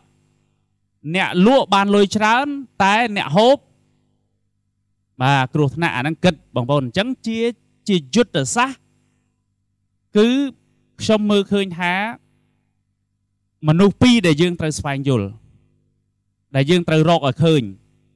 ទី1រកឲ្យឃើញអ្នកយល់ឃើញត្រូវ អ្នកយល់ឃើញត្រូវហើយត្រូវនឹងត្រូវអត់កលាច់ហ្មងបាទ8អ្នកខាងនេះមានមួយអង្គដែលយល់ឃើញត្រូវគឺសមាទិដ្ឋិនៅក្នុងអថង្គិកមៈរបស់ព្រះសម្មាសម្ពុទ្ធមែនទេបងប្អូនអញ្ចឹងទី1រកឲ្យឃើញអ្នកយល់ឃើញត្រូវ ទី2រកឲ្យឃើញអ្នកជួយផ្សព្វផ្សាយអាការយល់ឃើញត្រូវនឹងអញ្ចឹងបើនៅក្នុងប្រទេសកម្ពុជាយើងរដ្ឋាភិបាលមានទស្សនវិស័យមានបេសកកម្មមានយុទ្ធសាស្ត្រចតកោណដូចលោកគ្រូរដ្ឋាដូចក្រសួងកិច្ចការនារីបានជួយផ្សព្វផ្សាយដែរអញ្ចឹងយើងមើលថ្មីថ្មីនេះ គឺ COVID-19 មែនទេបងប្អូនអញ្ចឹងគឺរដ្ឋាភិបាលផ្ដោតសំខាន់គឺសុខុមាលភាពរបស់សង្គមគឺសុខុមាលភាពរបស់ប្រជាជនមែនទេអញ្ចឹងផ្ទះដៃជូនរដ្ឋាភិបាលដែល បានការពារកូវីដបាទការពារប្រជាជន សុខុមាលភាពរបស់ប្រជាជនអាហ្នឹងគឺការយល់ឃើញត្រូវនិងការផ្សព្វផ្សាយការយល់ឃើញត្រូវហ្នឹងដើម្បី មោទនភាពសេចក្តីសុខនិងកិត្តិយសរបស់ទាំងអស់គ្នាអញ្ចឹងមិនថាមិនថាថ្នាក់ដឹកនាំប្រទេសមិនថាថ្នាក់ដឹកនាំស្ថាប័នមិនថាថ្នាក់ដឹកនាំគ្រួសារនៅពេលដែលយើងចាប់ចំណុចនឹងបានអាហ្នឹងគឺអស្ចារ្យគឺអស្ចារ្យអញ្ចឹងអ្វីដែលកាន់តែអស្ចារ្យសូមឲ្យបងប្អូនប្រជាជនយើង មានអនាម័យល្អកុំកក្រិចហើយយើងទុកដាក់សម្រាមឲ្យមានរបៀប អានឹងចេញពីគំនិតដែលមានសន្តិភាពសូមអរគុណបាទបាទអរគុណច្រើនចំពោះអឺលោកគ្រូគឺសុខេងដែលបានចែករំលែកជាពិសេសសំខាន់ឲ្យការយល់ឃើញត្រូវហើយយើងនឹងធ្វើការផ្សព្វផ្សាយត្រូវគិតពីរឿងសុខភាពក៏ដូចជាកសាងឬក៏ដើម្បីមោទនភាពនិងកិត្តិយសរបស់ជាតិរបស់យើងដើម្បីទទួលបានគតិបណ្ឌិតកាន់តែល្អអស្ចារ្យសូមអានសិភៅភាពជាអ្នកមានកំពូលសិភៅសម្រាប់មនុស្សគ្រប់គ្នានិងគ្រប់គ្រួសារ សូមសូមឆ្លងចូលមកលោកអៀងសុធារាម្ដងតើលោកគិតថាយុទ្ធសាស្ត្រអ្វីដើម្បីឲ្យប្រជាជាតិរបស់យើងមានទម្លាប់ធ្វើការងារឲ្យមានសិទ្ធិភាពខ្ពស់សូមអញ្ជើញ5នាទីខ្ញុំកណ្ណាខ្ញុំបាទសូមក្រាបថ្វាយបង្គំប្រធារាប្រធារៈគ្រប់ព្រះអង្គហើយក៏សូមគោរពលោកជំទាវអាដាមវាគ្មិនទាំងអស់អ្នកចូលរួមទាំងអស់ខ្ញុំមានអឺ ជាការចែករំលែកជាយោបល់ខ្លះហើយជាបទពិសោធន៍ខ្លះនៅក្នុងរយៈពេលនេះគឺថាដំបូងបំផុតនៅក្នុងប្រធានបទនេះយើងនិយាយអំពីយុទ្ធសាស្ត្រកសាងប្រជាជាតិយើងឲ្យមានទម្លាប់ធ្វើការងារឲ្យមានប្រសិទ្ធភាពខ្ពស់នៅក្នុងនេះសូមយើងទាំងអស់គ្នា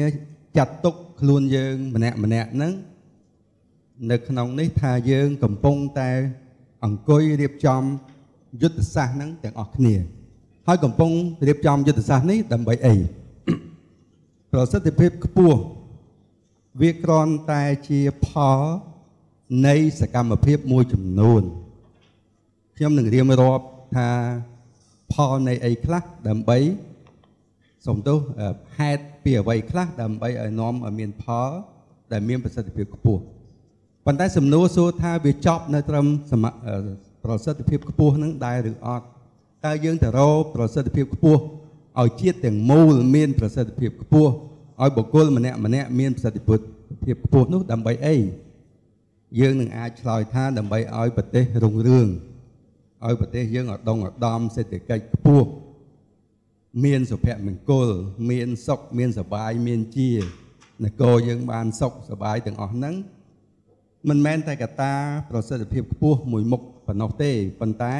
ប្រធានបទថ្ងៃនេះយើងសម្រួចទៅរកថាប្រសិទ្ធភាពខ្ពស់សំណួរទី1សួរថាដើម្បីឲ្យប្រសិទ្ធភាពខ្ពស់តតែពលរដ្ឋទាំងអស់នឹង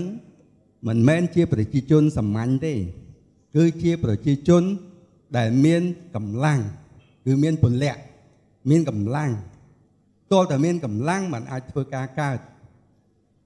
ដូច្នេះហើយបានជាយើងឲ្យពោគ្នាថាអាយុវណ្ណៈសុខៈពលៈយើងមានអាយុយើងមានវណ្ណៈយើងមានសុខៈប៉ុន្តែបើយើងអត់មានពលៈទេយើងអត់មានប្រសិទ្ធភាពការងារទេខ្ញុំនឹងបកស្រាយនៅពេលក្រោយដូច្នេះសួរសំណួរមួយទៀតថាតើយើងធ្វើការទេអត់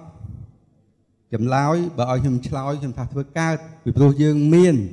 មូលដ្ឋានគ្រឹះជាវប្បធម៌អរិយធម៌ដូនតាកសាងអង្គរមានគំរូច្រើនណាស់ ដែលយើងអាចយកជាគំរូតាមថាធ្វើទៅកើតនេះសំណួរទី1សំណួរទី2សួរថាបើយើងធ្វើកើតតើយើងធ្វើយ៉ាងម៉េចធ្វើយ៉ាងម៉េចនេះយើងដឹងថាត្រូវធ្វើយ៉ាងម៉េចទៀតទី1ត្រូវថាបំពាក់អ្វីខ្លះទៅលើពលរដ្ឋរបស់យើង គឺត្រូវបំពាក់ពលៈ5យ៉ាងទៅឲ្យប្រជាពលរដ្ឋរបស់យើង ដែលនៅក្នុងនោះមានសទ្ធាពលៈមានវិរិយៈពលៈមានសតិពលៈសមាធិពលៈនិងបញ្ញាពលៈ ទាំង5នេះកាលណាបុគ្គលណាដែលមានហើយ គឺមានកម្លាំងស្មើនឹងសត្វឥន្ទ្រី ដែលអាចហោះខ្ពស់មើលបានឆ្ងាយហើយធ្វើកិច្ចការអ្វីក៏សម្រេចដែរតើបំពាក់នេះឲ្យបំពាក់នៅកន្លែងណាថាបំពាក់នៅក្នុងគ្រួសារសាលារៀនស្ថាប័នរដ្ឋស្ថាប័នឯកជនពីព្រោះស្ថាប័នទាំងអស់នឹងហើយដែលជាកោសិការបស់ជាតិយើងសួរថាតើយកអ្នកណាធ្វើគំរូខ្លះ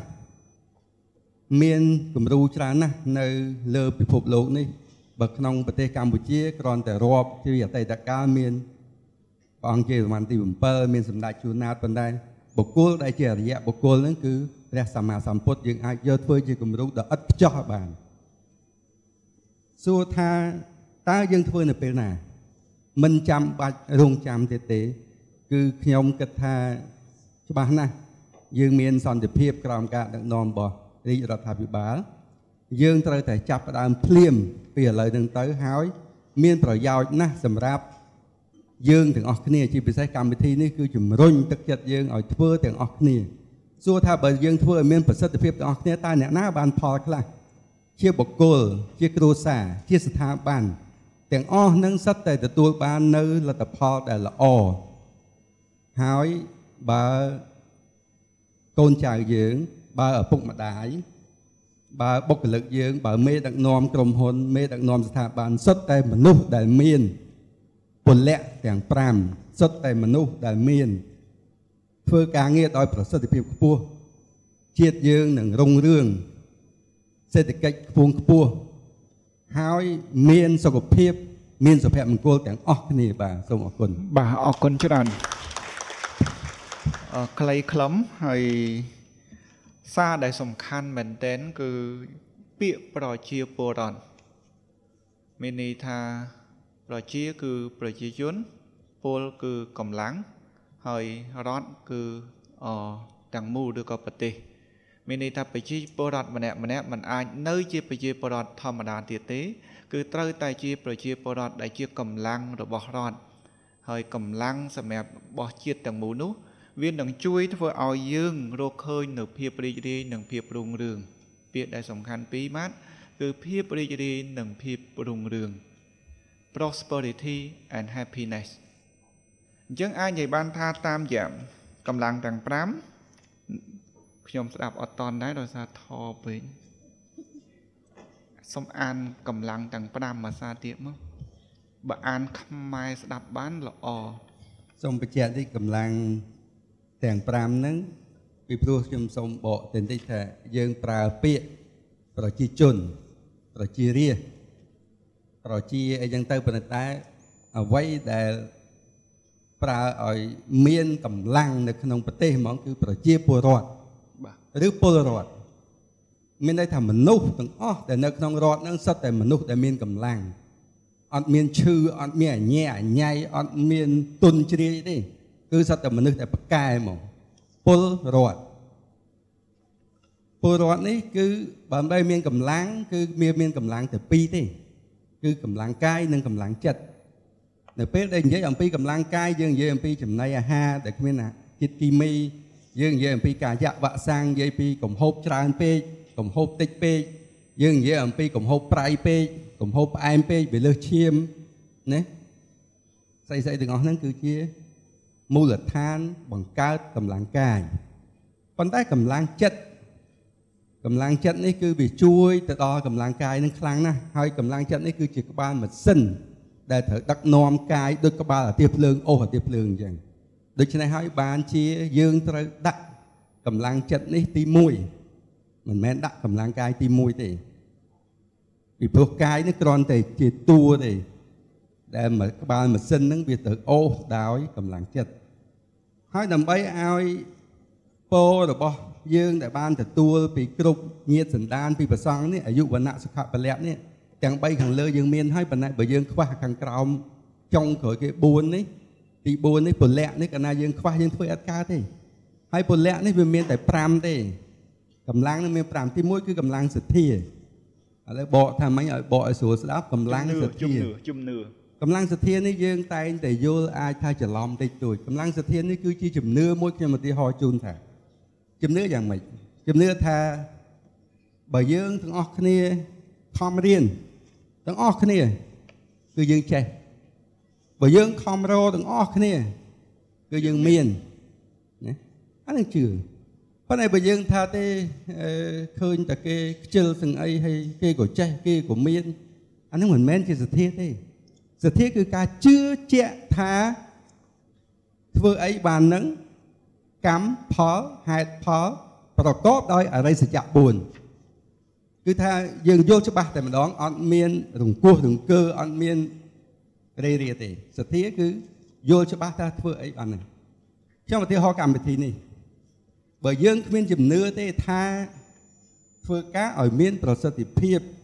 ដើម្បីឲ្យជាតិមួយរុងរឿង มันបាច់បង្កើតសិក្ខាសាលានឹងធ្វើអីទេ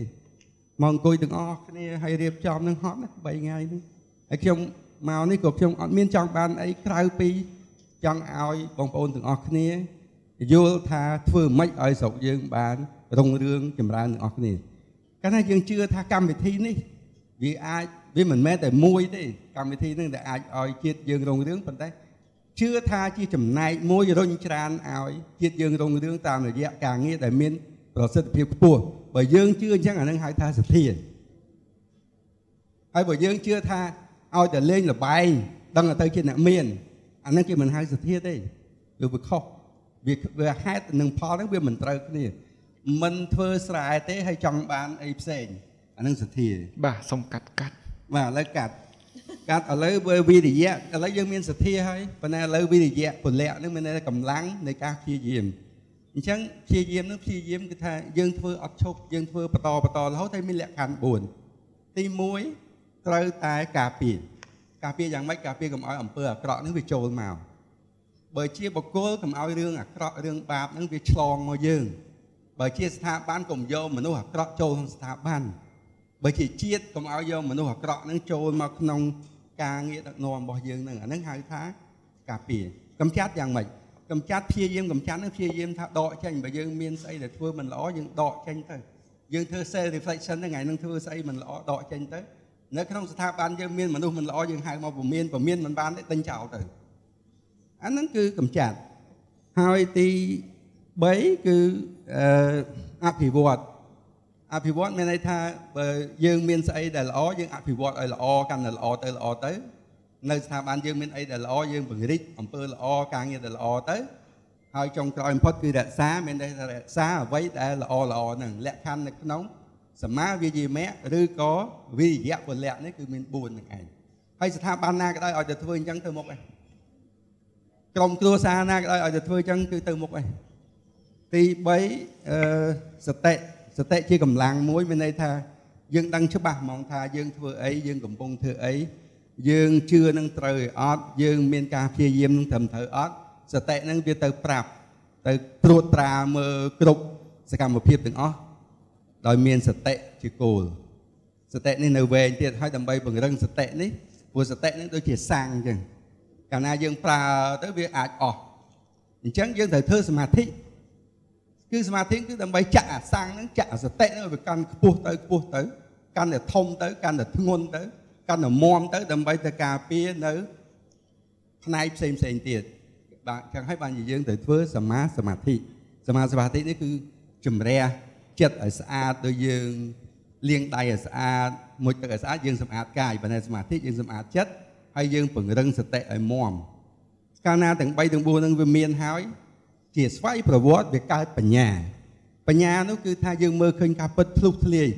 ការនេះគួរធ្វើការនេះមិនគួរធ្វើអានេះត្រូវដោះស្រាយអញ្ចេះនេះត្រូវដោះស្រាយអញ្ចោះដែលយើងហៅថាមនុស្សប្រកែហ្នឹងណាមនុស្សក្នុងប្រកែដោះស្រាយស្អីក៏បានដែរចៃក៏ចេះដែរធ្វើស្អីក៏កើតដែរគឺមនុស្សដែលមានបញ្ញាមិនមែនមនុស្សដែលមានវិជ្ជាទេមនុស្សដែលមានបញ្ញាប៉ុន្តែដើម្បីឲ្យបានបញ្ញាតលតែយើងមានវិជ្ជាផងយើងមានបទពិសោធន៍ផងយើងមានសទ្ធាផងយើងមានវិរិយៈផងយើងមានសតិយើងមានស្អីទាំងអស់ហ្នឹង បញ្ញាហ្នឹងគឺជាតួមួយសម្រាប់ដោះស្រាយរាល់សកម្មភាពទាំងកាយវិជាចិត្តរបស់យើងប្រចាំថ្ងៃតែម្ដងគឺយើងប្រើបញ្ញាពលរដ្ឋក្នុងប្រទេសមួយបើមានបើមានអាវុធយុទ្ធភ័ណ្ឌ5ប្រភេទនឹងហើយមានន័យថាជាពលរដ្ឋដែលខ្លាំងណាស់តែក្នុងពុទ្ធសាសនាលោកប្រៀបបានទៅនឹងសត្វឥន្ទ្រីឥន្ទ្រីហ្នឹងមាន6ទៀត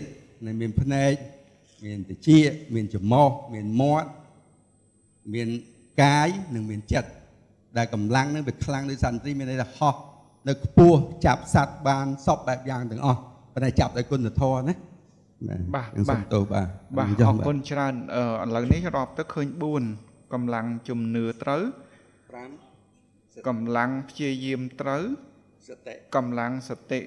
ត្រូវកម្លាំងសមាធិមួយទៀតណាសតិឲ្យបូកសមាធិមកសមាធិទី4ទី4សមាធិបញ្ញា បាទហើយវវសំពុនទៅបួសសម័យអត់ទេអូចឹងអត់អីអត់អីប្រពន្ធនៅចិត្តនឹងដែរ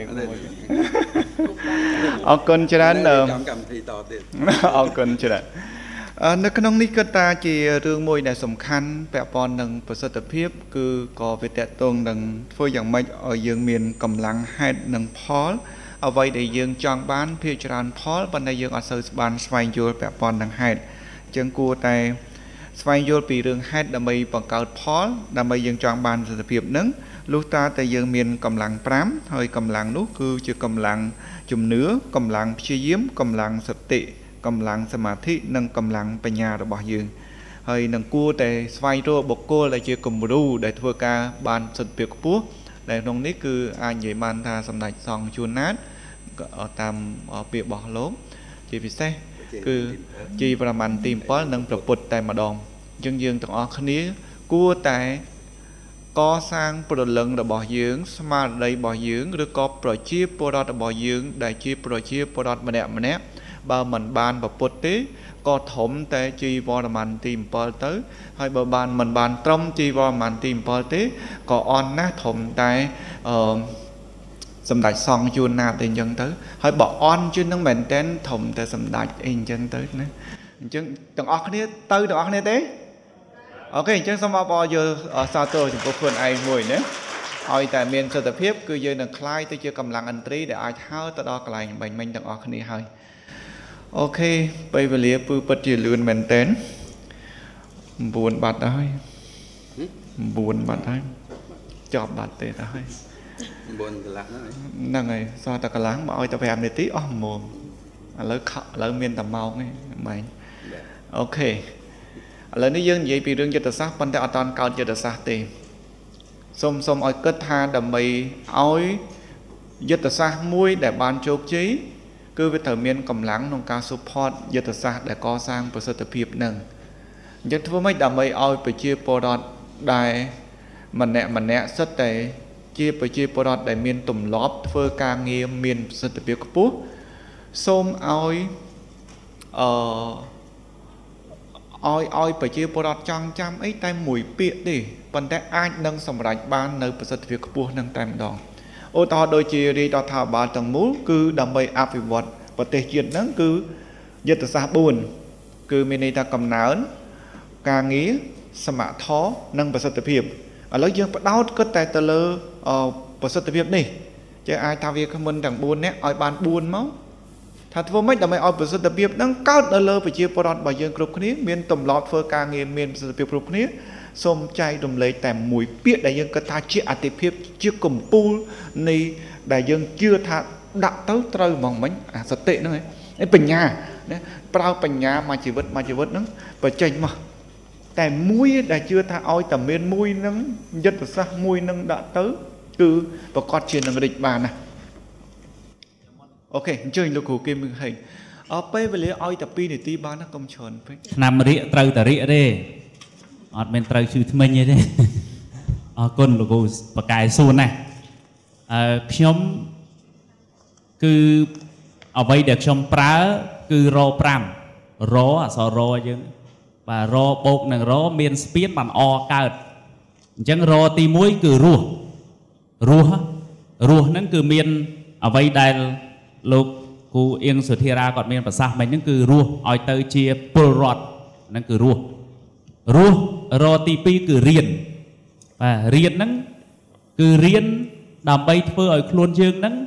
មានកិត្តិយសមានតម្លៃមានគេឈ្មោះល្អអាហ្នឹងគឺយើងមានកម្លាំងក្នុងការរៀនឲ្យខ្លួនយើងហ្នឹងមានបញ្ញាហើយរៀនហ្នឹងគឺមានពីរមានរៀនបើកភ្នែកនិងរៀនបិទភ្នែកឆ្ងល់ចាំសួរក្រៅម៉ោងព្រោះម៉ោងខ្លីមួយទៀតគឺរក ហើយតែយើងរៀនឲ្យមានបញ្ញាហើយតិចឬក៏ច្រើនស៊ីសងដែលយើងបើកបិទហ្នឹងត្រូវអត់អាហ្នឹងគឺយើងឲ្យមានបញ្ញាកាលណាដែលក្របពូជបញ្ញាហ្នឹងដុះក្នុងស្រែនៃលើនគរកាយរបស់យើងនេះអាហ្នឹងគឺនឹងចេញផ្លែផ្កាអាហ្នឹងខ្ញុំពិបាកបញ្យល់ខ្លីតែអាហ្នឹងមានន័យជ្រៅហើយមួយទៀតកាលណាដែលយើងរកហើយគឺរកប្រកបដោយធម៌ហើយខ្ញុំឆ្លៀតឱកាសនេះអរគុណលោកគ្រូអៀងសុធារាដែរថា បុគ្គលទី1គឺអ្នកយល់ឃើញត្រូវនៅខាងនោះបាទអ្នកផ្សព្វផ្សាយការយល់ឃើញត្រូវនៅខាងនេះបាទហើយខ្ញុំនេះអ្នករៀននេះបាទហើយនឹងអនុវត្តអញ្ចឹងរាល់ថ្ងៃហ្នឹងគឺអរគុណលោកគ្រូហើយច័ន្ទរដ្ឋាហើយអរគុណលោកគ្រូអៀងសុធារាដែរតែតែងតែនាំនៅក្លឹមធម៌យកមកឲ្យខ្ញុំហើយគ្រូរដ្ឋាហ្នឹងប្រកែកចាក់ឲ្យខ្ញុំធ្វើហើយខ្ញុំធ្វើមែនបាទហើយអាហ្នឹងគឺរទី4គឺរងរឿង បាទតែរកហើយរងរឿងហើយរកបានណោះបាទហើយតែរកបានហើយចុងក្រោយគឺរីករាយបាទតែរងរឿងហើយរីករាយហើយបាទអរគុណអូខេអឺលោកគ្រូខ្ញុំសូមឲ្យតែមួយពាក្យដល់5ពាក្យចុះក្នុងចំណោមពាក្យ5ហ្នឹងយកមួយណាតែមួយលោកគ្រូយកបញ្ញាអញ្ចឹងយករៀនណោះយករៀនអូខេចុះអឺចំអឺអង្គញាវិញពាក្យអីដែលគិតថាតែមួយពាក្យទេដែលអាចសម្រេចនៅ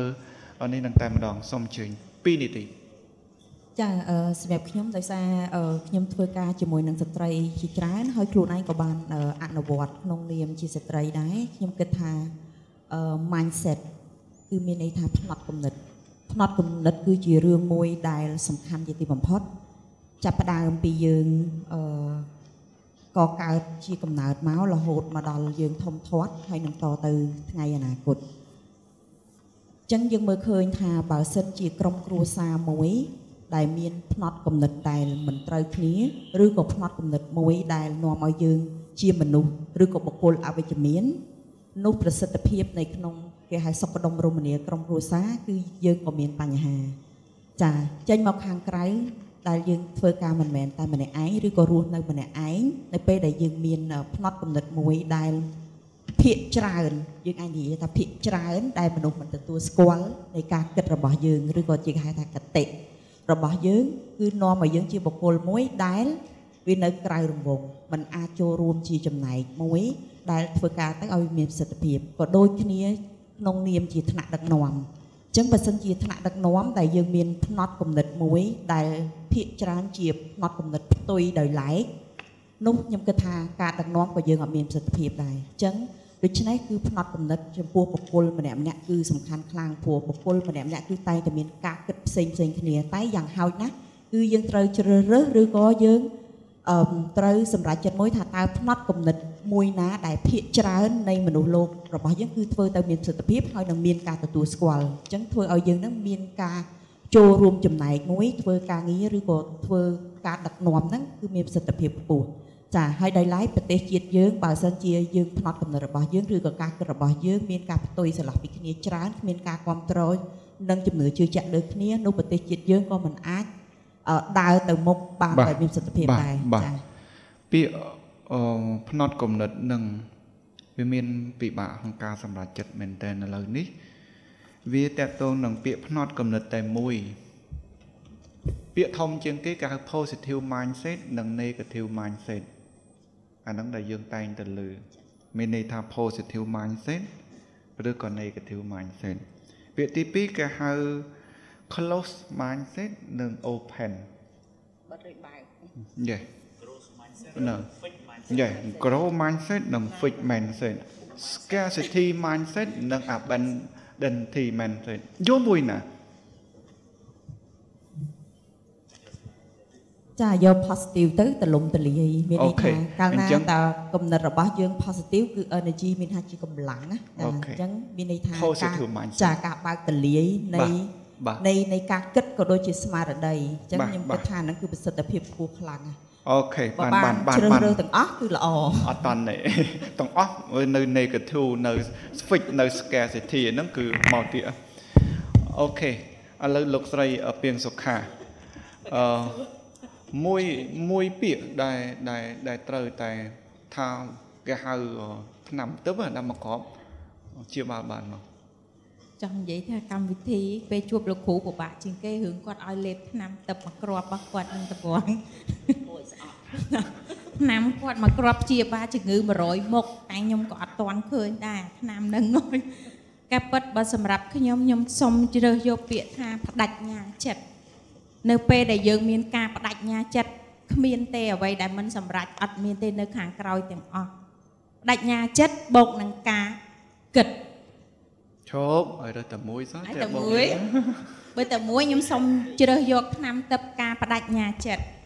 ការបដិញ្ញាចិត្តខ្ញុំជឿថាកាលណាយើងមានការបដិញ្ញាចិត្តយើងនឹងសម្រេចគ្រប់ភារកិច្ចនិងគោលដៅ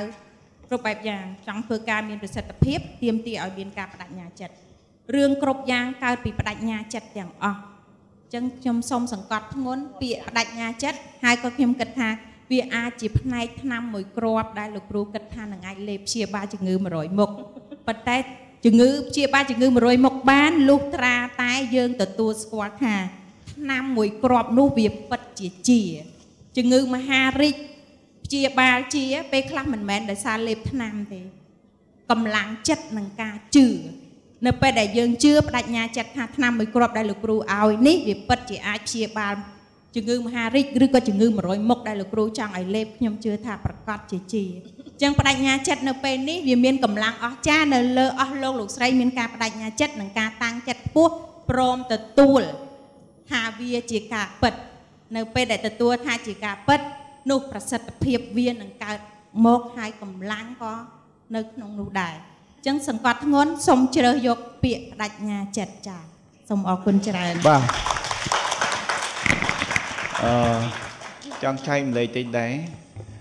អឺកន្លែងហ្នឹងយើងភាច្រើនច្រឡំការព្យាបាលខ្លះគេអត់ប្រើថ្នាំផងសូម្បីតែមកក្របគេគេអត់ព្យាបាលទេអពពុទ្ធត្រង់តែសមាធិដកដង្ហើមចេញដកដង្ហើមចូល គឺជាជំងឺជាច្រើនរាប់មិនអស់ ហើយខ្ញុំបានសាវជាវរកឃើញកំពូលពេទ្យលើលោកដែលអស្ចារ្យបំផុតនោះ គឺមានន័យថាពេទ្យដែលអន់គឺប្រើថ្នាំ20មុខដើម្បីព្យាបាលជំងឺមួយមុខប្រើថ្នាំ30មុខដើម្បីព្យាបាលជំងឺមួយមុខប៉ុន្តែពេទ្យដែលអស្ចារ្យឬក៏ពេទ្យដែលពូកែគេប្រើថ្នាំតែមួយមុខអាចព្យាបាលជំងឺ20មុខឬក៏អាចព្យាបាលជំងឺរហូតដល់30មុខ កាលណាយើងនៅតែខ្សោយយើងនៅតែត្រូវការថ្នាំច្រើនអញ្ចឹងអរគុណសូមសូមលោកធាតាសូមអញ្ជើញរដ្ឋថាសមាធិអីទៀតជាជំងឺច្រើនមុខហើយសូមបងប្អូនទាំងអស់គ្នានៅក្នុងបន្ទប់នេះហើយអ្នកបានមើលតាមប្រព័ន្ធសង្គមនៅតាមប្រាសាទខ្លះខ្ញុំមិនប្រាប់ថានៅប្រាសាទណារូប ព្រះពុទ្ធអង្គនឹងមានមានច្រើនបែបមានដាក់ចេះចេះឯប៉ុន្តែមានរូបមួយហ្នឹងគឺកាន់ឆ្នាំមួយគ្រាប់កាន់ឆ្នាំតែមួយគ្រាប់គុតសួរថាឆ្នាំដែលព្រះពុទ្ធកាន់ហ្នឹងម៉ាក់អីយីហៅអីផលិតនៅប្រទេសណាសូមស្វែងយល់ឆ្នាំមួយគ្រាប់ហ្នឹងគឺស្អីអានោះអីជាឆ្នាំដែលយកមកព្យាបាលជាតិយើងឲ្យមានប្រសិទ្ធភាពខ្ពស់ ឈានទៅរកសេចក្តីរុងរឿងក្នុងសុភមង្គលទាំងអស់គ្នាខ្ញុំសូមពេលនេះគឺតាមជំហរអឺកន្លងមកគឺយើងខ្ញុំមុនទៅដល់ឆ្នាំមួយគ្រាប់ខ្ញុំអប់រំបុគ្គលិកកន្លែងធ្វើការទាំងអស់ហ្នឹងគឺទី1សុខភាពកាយនិងចិត្តទី1សុខភាពកាយចិត្តទី2ពង្រឹងសមត្ថភាពរាល់ថ្ងៃហើយទី3គុណធម៌ហ្នឹងគឺពង្រឹងរាល់ថ្ងៃមានន័យថា3ហ្នឹង ហើយបើយកតាមពាក្យពុទ្ធគឺកុំធ្វើបាបធ្វើតែបុណ្យដោយសទ្ធាជ្រះថ្លាហើយបើយើងយកឲ្យចំតែម្ដងគឺឆ្នាំមួយហ្នឹងគឺកុំប្រមាទហើយសូមបងប្អូនទាំងអស់នេះទៅមើលពាក្យប្រមាទហ្នឹងទៅសេនឹងតណាហើយបើលោករដ្ឋាថាឲ្យក្នុងកម្មវិធីនេះមិនមែនជាកម្មវិធីទូទៅទេកម្មវិធីនេះគឺឲ្យមានប្រសិទ្ធភាពខ្ពស់ សូមបងប្អូនទៅសិក្សាពលៈទាំង5បើឲ្យខ្ញុំរើសយកតែមួយពាក្យគឺពលៈហើយពលៈទាំង5ហ្នឹងកាលណាមាននៅលើបុគ្គលណាហើយគឺបុគ្គលហ្នឹងវាខ្លាំងដូចសត្វឥន្ទ្រីអញ្ចឹងប៉ុន្តែបើដកអានឹងចេញបុគ្គលហ្នឹងដូចជាអង្កត់អស់មួយអញ្ចឹងវាលែងមានកម្លាំងវាលែងមានធម៌ពលហើយបាទ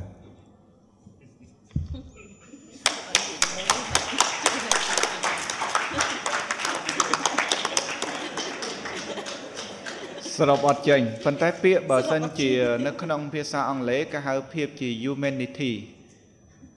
អឺ humanity ភាពជាមនុស្សពលៈ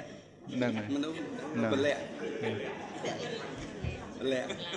nó មានកម្លាំងបលាំងអត់ឥឡូវទេបើតើអត់មានកម្លាំងបលាំងចប់ មិនមានកម្លាំងបលាំងខ្លួនឯងតែមានកម្លាំងមានបលាំង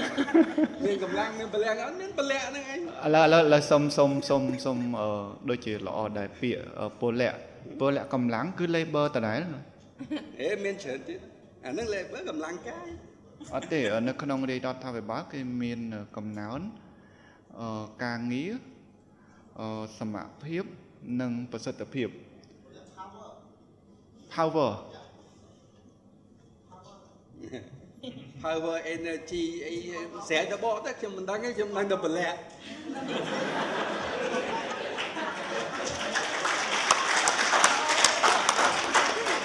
មើលលោកគ្រូហេងពា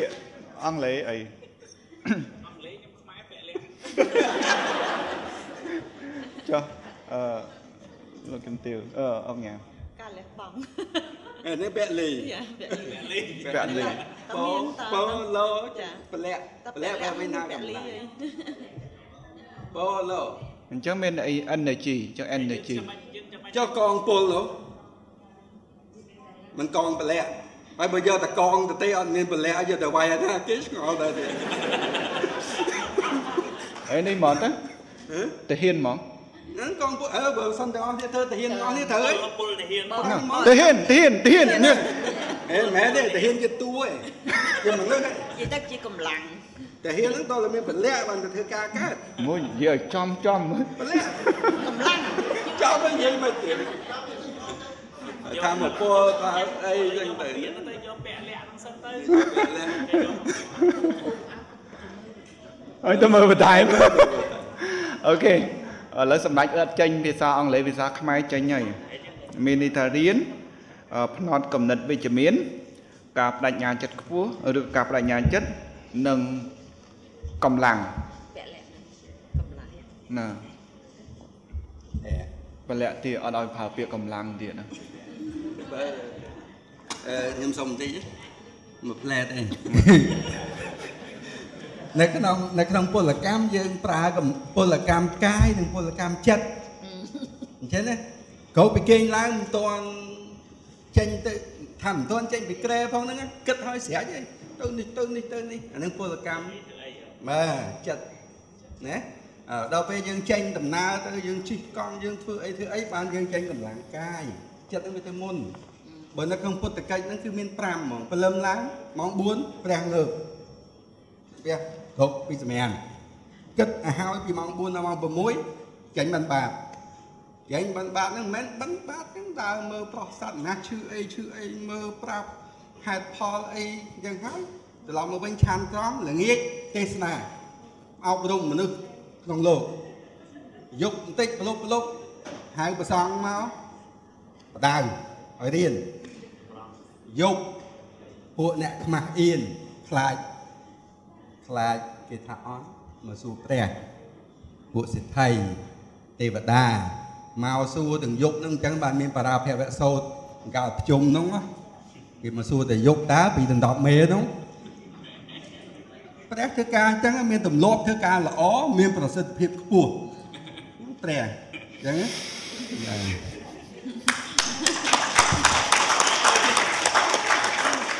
អូខេឥឡូវនេះ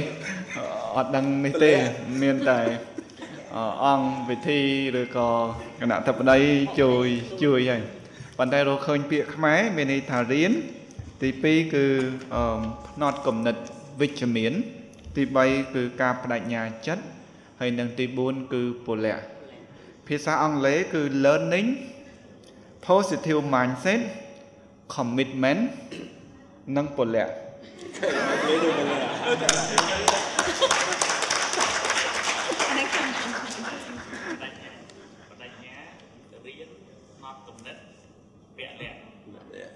ដាក់វាត្រូវរែងណាមិនផ្នត់កំណត់មិនកើតផ្នត់កំណត់វិជ្ជមានវិជ្ជមានថែមទៀតទៅទៀតបាទខ្ញុំថាទៅក៏ទៅសិក្សាជាមួយលោកគ្រូសុធារាដើម្បី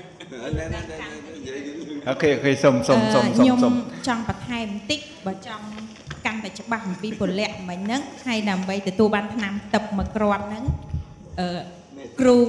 គ្រូដល់ពូកែនៅទីនេះសំបីតែខ្ញុំក៏អត់ទាន់យល់ដែរបើពាក់ព័ន្ធជាមួយនឹងពពុទ្ធគ្រាន់តែខ្ញុំឃើញបេក្ខភាពដែលប្រកួតណាខ្ញុំនិយាយជាមួយបងហៀកថាអូអាមកកថាំងទាំង5ហ្នឹងគឺជាអ្វីទៅចង់ចង់និយាយថា ទូលបង្គំជាបឋមជនធម្មតាទេតាពលៈហ្នឹងអត់ទាន់យល់ទេប៉ុន្តែវាគឺជារឿងល្អដែលបុគ្គលតែមួយគត់ពោពេញទៅដោយកម្លាំងអឺធម្មពលគ្រប់គ្រាន់ដែលសាបព្រោះអឺជាច្រើនអឺទស្សវត្សមកហើយបានជាប្រយោជន៍ដល់ជាតិសាសន៍ទាំងមូលហើយក៏សំណាងណាស់ដែលខ្ញុំបានជួបលោកគ្រូដែលកតេបណ្ឌិតគ្រប់ពោពេញហើយក៏ជា idol របស់ខ្ញុំជាការគោរពគ្រប់បែបយ៉ាងអឺ ខ្ញុំគិតថាចង់ចេះបន្ថែមជួបគាត់ថាពាក្យហ្នឹងមានន័យមិនខ្មិចហើយអឺស៊ីជម្រៅដឹងតាំងពីរឿងធម៌ព្រះទៀតអញ្ចឹងគឺល្អមែនតើនៅទីនេះហើយចាជួយផ្សាយបាទអរគុណច្រើនអឺយ៉ាងណាគិតថាខ្លីប៉ុន្តែយើងខ្លឹមសង្ឃឹមថាប្រជាជាតិរបស់យើងជាពិសេសអឺ គណៈតបតីនិងអង្គពិធីទាំងមូលដែលកំពុងតែមានវត្តមាននេះអ្នកចាប់ផ្ដើមមុនគេ គឺធ្វើម៉េចឲ្យមាន positive mindset ហើយបន្តការរៀនសូត្របន្តការបដិញ្ញាចិត្តឲ្យខ្ពស់ហើយនឹងបន្តពលៈកម្លាំងរបស់យើងនឹងឲ្យវាខ្លាំងដោយឥន្ទ្រីដែលអាចហោះហើរបានមកកម្លាំងទាំង5អូខេដោយសារតែកត្តាពេលវេលាมันអនុញ្ញាតតទេឥឡូវនេះដល់27ហើយអញ្ចឹងខ្ញុំគិតថាបកគោជូនសម្រាប់ជា2នាទីនៃសារចុងក្រោយរបស់វាគ្មិននីមួយនីមួយៗដែលអាចចូលរួមជួយ ថាសារអីដែលយើងគិតថាអាចជួយប្រជាជាតិរបស់យើងឲ្យคล้ายទៅប្រជាជាប្រជាជាតិដែលមានទម្លាប់ធ្វើការងារឲ្យមានប្រសិទ្ធភាពខ្ពស់សូមអញ្ជើញពីអឺលោកគ្រូមុនហ្មងតាតភាព2នាទីសូមអញ្ជើញ បាទអឺសូមគ្រប់បងទាំងអស់គ្នាហើយសូមចេះសូមថាយើងទាំងអស់គ្នាហ្នឹងគិតថាយើងរៀនពីគ្នាទៅវិញទៅមកมันមានអ្នកណាចេះច្រើនជាងចេះអ្នកខ្លះចេះនេះអ្នកខ្លះចេះនោះណាយើងប្រឹងរៀនពីគ្នាទៅវិញទៅមកហើយយើងចាត់ទុកថាកម្មវិធីនេះ មិនមែនជាកម្មវិធីគ្រាន់តែមកទទួលរង្វាន់មកស្ដាប់ទៅឲ្យវាព្រោះហើយដល់ពេលចេញទៅវិញយើងត្រូវតែនាំគ្នាធ្វើហើយធ្វើហ្នឹងគឺចាប់ផ្ដើមពីខ្លួនយើងម្នាក់ម្នាក់ហ្នឹងទៅមុនពីព្រោះអស់លោកមួយថ្ងៃមួយថ្ងៃនេះដើរតួនាទីច្រើនណាស់លោកជំទាវពេលអញ្ជើញមកក្រសួងជាថ្នាក់ដឹកនាំក្រសួង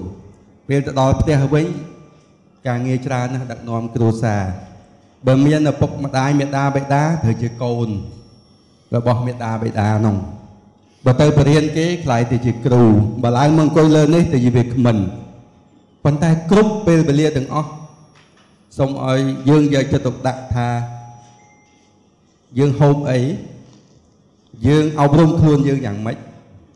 យើងត្រូវធ្វើដំណើរយ៉ាងម៉េចហើយយើងត្រូវធ្វើសកម្មភាពឲ្យខ្លាំងយ៉ាងម៉េចដែលប្រកបដោយធម៌ពលនឹងវាខ្ពស់ ឲ្យមានប្រសិទ្ធភាពខ្ពស់ពាក្យថាប្រសិទ្ធភាពនេះណាសំខាន់ណាស់ប្រសិទ្ធភាពខ្ពស់ហ្នឹងបើយើងធ្វើស្រែ1ហិកតាដូចគ្នា មានលុយធ្វើដើមទុនដូចគ្នា គេធ្វើបាន10តោនយើងធ្វើបានតែ1តោនណាចុះយើងមិនកុំធ្វើអត់10តោនទៅ11តោន12តោនទៅណាបើធ្វើអាគារមួយគេធ្វើតែ20នាក់គេណាគេ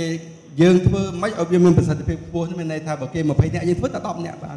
ដូចឲ្យចាប់ពីចេញពីនេះតទៅយើងយកពលៈចូលក្នុងខ្លួនទាំង5មកដើម្បីឲ្យជាតិយើងរុងរឿងបាទបាទអរគុណច្រើនចំពោះលោកសុធារាសូមអបអរសាទរចំពោះគាត់ហើយជាបន្តសូមលោកស្រីពៀងសុខាសូមអញ្ជើញសារចុងក្រោយ2នាទីចាសម្រាប់ខ្ញុំសារ2នាទីចុងក្រោយនេះខ្ញុំនៅតែផ្ដោតសង្កត់ធ្ងន់ទៅលើការបដិញ្ញាចិត្តបដិញ្ញាចិត្តយើងនឹងមានការផ្លាស់ប្ដូរ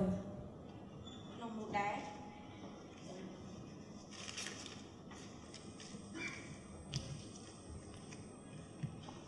ការផ្លាស់ប្ដូរការផ្លាស់ប្ដូរនឹងមានការផ្លាស់ប្ដូរការគិតហើយមួយវិញទៀតការធ្វើនិងការដាក់វិន័យចំពោះខ្លួនឯងចំពោះកិច្ចការងារដែលយើងបាន ចង់បានសម្រេចលទ្ធផលជាផ្លែផ្កានៅពេលដែលអស់លោកស្រីមានការបដិញ្ញាចិត្តហើយវាលីងនឹងផ្លាស់ប្ដូរនៅចំណុចខ្វះខាតទាំងឡាយ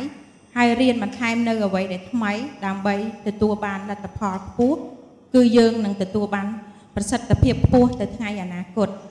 ខ្ញុំគិតថានៅយើងសង្កត់ធ្ងន់ទៅលើការបដិញ្ញាចិត្តគ្រប់កិច្ចការងារអ្វីក៏ដោយគឺត្រូវបដិញ្ញាចិត្តធ្វើឲ្យបានសម្រេចទទួលបានប្រសិទ្ធភាពខ្ពស់ជាងពីមុនដែលយើងធ្លាប់ធ្វើពីសប្តាហ៍សុំឲ្យនៅមួយសប្តាហ៍ឬក៏តែ3ថ្ងៃពីព្រោះអីយើងត្រូវរៀនពី idol ប្រទេសជិតខាងដូចជាប្រទេសជប៉ុននិងអច្ឆរិយៈអឺ នឹងបណ្ដាប្រទេសជាច្រើនដែលគេទទួលបានជោគជ័យរួចទៅហើយថាតើគេធ្វើការងារអ្វីខ្លះហើយតើគេមានការបដិញ្ញាចិត្តខ្ពស់កម្រិតណាហើយឆ្លុះបញ្ចាំងមកខ្លួនឯងវិញថាការពិតតើយើងនៅក្នុងចំណុចណាមួយហើយយកផលធៀបធៀបនឹងអ្វីធៀបនឹងប្រជាជាតិមួយទៅប្រជាជាតិមួយធៀបចំណេះដឹងដែលយើងចេះពីថ្ងៃនេះនិងថ្ងៃស្អែកឬក៏ថ្ងៃអនាគតថាយើងបាន កែប្រែនឹងការបដិញ្ញាចិត្តរបស់យើងទទួលបានលទ្ធផលជាផ្លែផ្កាយយ៉ាងម៉េចហើយនោះប្រសិទ្ធភាពអស់លោកស្រីនឹងទទួលបានក្រោយពេលដែលអស់លោកស្រីមានការបដិញ្ញាចិត្តខ្ពស់សូមអរគុណច្រើនបាទអរគុណច្រើនសម្រាប់លោកស្រីពៀងសុខាជាបន្តសូមអញ្ជើញលោកអុកញ៉ាបាទបាទចាអឺសូមអរគុណចាអឺជាចុងក្រោយនេះយើងអាចថាចុងក្រោយសម្រាប់ថ្ងៃនេះពេលវេលានេះកលៈទេសៈនេះចា តំណាងឲ្យសមាគមសក្តិនតតីកម្ពុជាអឺនឹងខ្ញុំសូមធ្វើការលើកទឹកចិត្តក៏ដូចជាការជំរាបជូនទៅដល់អ្នកទាំងអស់គ្នាដែលបានចូលរួមនៅក្នុងកម្មវិធីភាពជាអ្នកដឹកនាំនៅក្នុងថ្ងៃនេះដែលមានអាយុកាល10ឆ្នាំមិនធម្មតាមានន័យថាជាជាវេទិកាមួយដែលអស្ចារ្យខ្លាំងហើយបើយើងគិតប្រៀបធៀបពីការចាប់កំណើតពី baby មកឥឡូវហ្នឹងចេះរត់ដី អញ្ចឹងខ្ញុំគិតថាវេទិកានេះដែលអាចកើតមានក្នុងថ្ងៃនេះដោយសារការចូលរួមពីអ្នកទាំងអស់គ្នាផ្ដើមចេញពីបុគ្គលម្នាក់មែនតែនទៅសូមសរសើរគាត់ខ្លាំងមែនតែនឃើញគាត់ឈ្មោះឈ្មោលខ្លាំងណាស់ចាចូលរួមចំណែកមួយការផ្លាស់ប្ដូរនៃការគិតអញ្ចឹងដូច្នេះខ្ញុំមានតែចូលរួមការអបអរសាទរក៏ដូចលើកទឹកចិត្តដល់អ្នកទាំងអស់គ្នាចេញពីបុគ្គលយើងម្នាក់ម្នាក់ទាំងអស់គ្នាផ្ដើមចេញពីខ្លួនយើងទាំងអស់គ្នា ដើម្បីចូលរួមចំណែកក៏ដូចជាជំរុញនៃការអភិវឌ្ឍពីមួយថ្ងៃទៅមួយថ្ងៃឲ្យមានភាពប្រសើរដោយអឺលោកពូស្ទីរាបានមានប្រសាសន៍អញ្ចឹងគឺមានន័យថាយើងអត់អាចធ្វើអីដោយម្នាក់ឯងទេគឺមានន័យថាយើងធ្វើគឺត្រូវមានគ្នាមានគ្នាគឺយើងត្រូវមានការគ្រប់គ្រងគ្នាអញ្ចឹងផ្ដើមចេញពីចំណេះដឹងចំណេះធ្វើបទពិសោធន៍របស់យើងគឺយើងត្រូវតែមានធ្វើការចែករំលែកត្រឡប់ទៅវិញតាមរយៈការចែករំលែកនិងធ្វើឲ្យ ដូចចង្កឹះមុខមួយបាច់ចឹងណាចាអញ្ចឹងតែចង្កឹះមួយវាងាយផុយស្រួលតែតែមួយបាច់ងាយកាច់បាក់អីចឹងដូចជាក្រុមគ្រួសាររបស់យើងអឺសហគមន៍របស់យើងក៏ដូចជាប្រទេសជាតិយើងទាំងមូលគឺត្រូវការយើងទាំងអស់គ្នាគឺចូលរួមទាំងអស់គ្នាហើយខ្ញុំសូមជំរាបជូនដែរថាសមាគមសហគ្រិនកម្ពុជាហ្នឹងគឺកើតឡើងនៅក្នុងឆ្នាំ2000 11នោះពេលនោះគឺយើងមានគ្នាតែ11នេះឯងតែឥឡូវនេះគឺយើងមើលឃើញថាកម្លាំងនៃពី11នាក់រហូតទៅដល់ជាង700នាក់អញ្ចឹងមានន័យថាប្រសិទ្ធភាពនៃការចូលរួមនិងការសហការគ្នាគឺវានាំមកនៅការអភិវឌ្ឍហើយបើសិនជាមិនមានប្រសិទ្ធភាពទេខ្ញុំគិតថាមិនមានអ្នកណាចូលរួមគ្រប់គ្រងហើយយើងក៏មិនអាចដើរមកដល់ថ្ងៃនឹងដែរអញ្ចឹងបាទយើងទាំងអស់គ្នាគឺត្រូវចូលរួមទាំងអស់គ្នាទាំងរួមខ្ញុំផ្ទាល់ដែរលោកគ្រូលើកក្រោយអញ្ជើញខ្ញុំផងខ្ញុំនឹងចូលរួមទៀតអចារគុណសូមអរគុណច្រើនទាំងអស់គ្នាអរគុណច្រើនលោកជំទាវអឺអរគុណដែលបានគ្រប់គ្រងអូខេសូមចុងក្រោយសូមលោកគ្រូឃឹមសុខេង បាទខ្ញុំឃីមសុកហេងក្នុងនាមជាពលរដ្ឋពលលក្ខរបស់រដ្ឋពាក្យខ្ញុំគឺរៀនអញ្ចឹងគឺខ្ញុំខ្ញុំជូនហៅឡូហៅឡូបាទជាសាររបស់ខ្ញុំគឺជូនពាក្យដែលអនុវត្តសម្រាប់ខ្ញុំទទួលបាននៅលទ្ធផលគឺគិតគូសង់ឆ្លោះកែបន្ត5 អញ្ចឹងគឺយើងដឹងហើយថាគិតឲ្យសំគូអញ្ចឹងហើយបងប្អូនអញ្ចឹងយើងអាហ្នឹងគឺយើងរៀនទាំងអស់គ្នា ហើយបើសិនជាយើងហេតុអីបានយើងគូហ្នឹងអត់តន់គ្រប់បើគ្រប់ស្ថាបត្យករគាត់គូផ្ទះនៅគ្រប់ហើយអញ្ចឹងគឺផ្ទះនៅក្នុងគំនូនៅកើតដែរបងប្អូនផ្ទះនៅក្នុងគំនូនៅកើតដែរតែគំនូដែលយើងគូមុននឹងសាងសង់ដោយអារាកាវ៉ាមុននឹងសាងសង់គាត់គូហ៎ សំខាន់ណាគូសំខាន់ណាតែគូនៅអត់កើតទេណាគូខ្ញុំអត់តន់ទិញទេតសងបានខ្ញុំទិញឥឡូវខ្ញុំទិញហើយបានខ្ញុំនៅកើតមែនទេបងប្អូនអញ្ចឹងគឺយើងគិតគូហើយសង់អញ្ចឹងគិតគូស្មើនឹងយើងរៀនតែបើយើងរៀនហើយយើងអត់យកទៅអនុវត្តអាហ្នឹងគឺយើងអត់បានផ្ទះនៅទេតើឲ្យយើងសង់ អញ្ចឹងហើយបងប្អូនអាហ្នឹងគឺជាបទពិសោធន៍របស់ខ្ញុំណាដូចនារីនារីគាត់ make up អញ្ចឹងគឺខ្ញុំជឿថាសឹងតែទាំងអស់គ្នាពេល make up ឆ្លោះកញ្ចក់ហ៎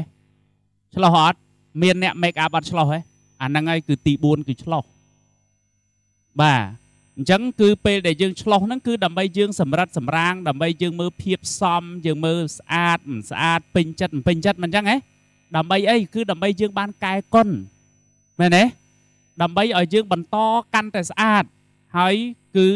កាលណាដែលយើងធ្វើបាន5ហ្នឹងហើយគឺវត្តដាក់របស់វា គឺបន្តអញ្ចឹងគឺបន្តឲ្យ5ហ្នឹងទៅគឺរីកចម្រើនកាន់តែខ្លាំងនេះបទពិសោធន៍ចែកម្លេចចុងក្រោយអរគុណបាទអរគុណច្រើនសម្រាប់អឺគណៈអធិបតីក៏ដូចជាអង្គពិធីរបស់យើងទាំងមូល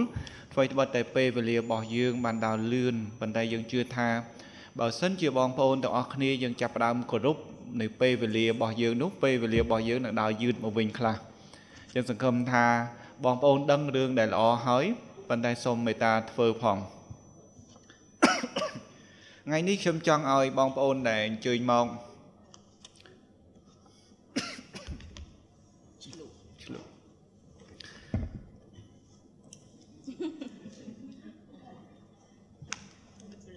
គិតពេក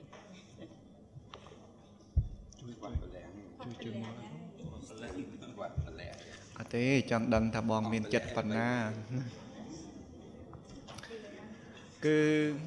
ចាប់ផ្ដើមពីកម្លាំងទាំងប្រាក់អ่าទាំង4ដើម្បីមិញដែលអាចជួយធ្វើឲ្យយើងមានប្រសិទ្ធភាពនោះគឺត្រូវចងចាំនៅយុទ្ធសាស្ត្រ4សំខាន់គឺទី1ពលៈឲ្យឡើងមកលេខ1ចុះទី2គឺ positive mindset ហើយទី3គឺរៀនមានន័យថា learning ហើយទី4គឺ commitment ខ្ញុំគិតថាស្របនឹងគំនិតរបស់លោកគ្រូខៀមសុខហេងបាញ់មិញដែរដែលតកតងនឹងកិត្តគូសង់ឆ្លោះហើយនឹងកាយលម្អដូចជាអត់ខុសទេ មានន័យថាទី1យើងមានកម្លាំងពលៈទី2ផ្នត់គំនិតរបស់យើងត្រូវតែវិជ្ជមាន positive mindset ហើយទី3គឺយើងត្រូវតែ រៀនមានន័យថាទោះបីជាយើងមានផ្នត់គំនិតល្អយ៉ាងណាក៏ដោយបើមិនរៀនទេគឺយើងមិនអាចរីកចម្រើនឬក៏រកឃើញកម្លាំងប្រសិទ្ធភាពទេហើយទី4ទោះបីជាយើងរៀនយ៉ាងម៉េចក៏ដោយបើយើងមិនយកទៅធ្វើហើយគ្មានការ commitment មួយឲ្យខ្លាំងទេគឺការដែលយើងសម្រេចបាននៅប្រសិទ្ធភាពនោះក៏មិនអាចកើតដែរអឺខ្ញុំគិតថាពាក្យប្រសិទ្ធភាពនេះខ្ញុំក៏យល់ស្របជាមួយនឹងលោកគ្រូអឺអឺអៀងសុធារាហៅលោកគ្រូចុះពីព្រោះ ត្រូវរៀនច្រើនសន្និពលៈមួយក៏ត្រូវត្រូវណាត់ជួបដែរអញ្ចឹងត្រូវរៀនច្រើនអត់តាន់ទេអត់តាន់ហៅយើងអ្នកគ្រូទេហៅសុខាសិនបាទអអញ្ចឹងអាចនិយាយបានថាប្រទេសជាតិនីមួយនីមួយ គឺអាស្រ័យទៅលើ ប្រជាជាតិនោះ ដែលជាហៅថាប្រជាពលរដ្ឋប៉ុន្តែប្រជាពលរដ្ឋនីមួយនីមួយ มันអាចធ្វើឲ្យខ្លួនមានឱកាសរីកចម្រើនរុងរឿងអស្ចារ្យទេ ប្រសិនបើគ្មានប្រសិទ្ធភាពនេះខ្ញុំបានទៅសិក្សានៅអ៊ីស្រាអែលរយៈពេលមួយសប្តាហ៍ហ្នឹងក៏យើងរកឃើញពាក្យដែលធំជាងគេទាំងអស់គឺប្រសិទ្ធភាពអញ្ចឹងអាចប្រសិទ្ធភាពនេះហើយដែលយើងនិយាយមិញមិញជាពិសេសថាបើសិនជាយើងធ្លាប់ធ្វើអឺ5នាក់យើងមកកាត់នៅសល់តែ1នាក់ បើសិនជាយើងធ្វើកិច្ចការងារមួយ ដែលត្រូវប្រើរយៈពេលដល់8ម៉ោងយើងគួរតែគិតធ្វើមិនឲ្យមកនៅសល់តែ1ម៉ោងឬក៏2ម៉ោងខ្ញុំចង់និយាយថាកម្លាំងនៃការគិតដើម្បីឈ្មោះទៅរកប្រសិទ្ធភាពនេះ គឺយើងនឹងធ្វើឲ្យកម្លាំងនៃការគិតរបស់យើងคล้ายទៅជាកម្លាំងនៃការពិត លោកលោកវាសិតតែរឿងគេហៅ magic រឿងដែលអច្ឆរិយៈដែលកើតឡើងពីការគិតរបស់យើង ពីព្រោះការគិតរបស់យើង គឺជាការពិតរបស់យើងសិញរបស់យើងនឹងគឺស្មើនឹងសិញសិញអសរ K ក៏របស់យើង គឺស្មើនឹងសិញអសរ G សិញអសរ K បតុយវាស្មើនឹងសិញអសរ G កតុយ ហើយកាលណាយើងសិញរបស់យើងអសរ K នឹងស្មើនឹងសិញអសរ G គឺយើងនឹងស្មើពាក្យទី3ដែលអស្ចារ្យបំផុតនោះគឺ king តែម្ដងយើងសង្ឃឹមថាយើងទាំងអស់គ្នានឹងคล้ายទៅជាប្រជាពលរដ្ឋម្នាក់ម្នាក់ដែលអាចធ្វើកិច្ចការងារដ៏មានប្រសិទ្ធភាពខ្ពស់បំផុតហើយយើងនឹងចូលរួមជួយស្ដារប្រទេសជាតិរបស់យើងឲ្យคล้ายទៅជាប្រជាជាតិអច្ឆរិយៈ ទាំងអស់គ្នាឡើងវិញជាក់ជាមិនខានអញ្ចឹងសូមអបអរសាទរទាំងអស់គ្នាហើយសូមអរគុណច្រើនមែនទែនសម្រាប់វាគ្មិនរបស់យើងហើយគ្មានអ្វីទេ10ឆ្នាំស្រាវជ្រាវបានសភើ3ក្បាលបោះពុំបានអាវមួយហើយជូនទាំងអស់ហ្មងអញ្ចឹងជូនតាមសំណើអញ្ចឹងសូមសហការីចូលរួមជួយនេះសូមអរគុណសម្រាប់បាទ ដើម្បីទទួលបានគតិបណ្ឌិតកាន់តែល្អអស្ចារ្យសូមអានសិភៅភាពជាអ្នកមានកម្ពុជាសិភៅសម្រាប់មនុស្សគ្រប់គ្នានិងគ្រប់គ្រួសារ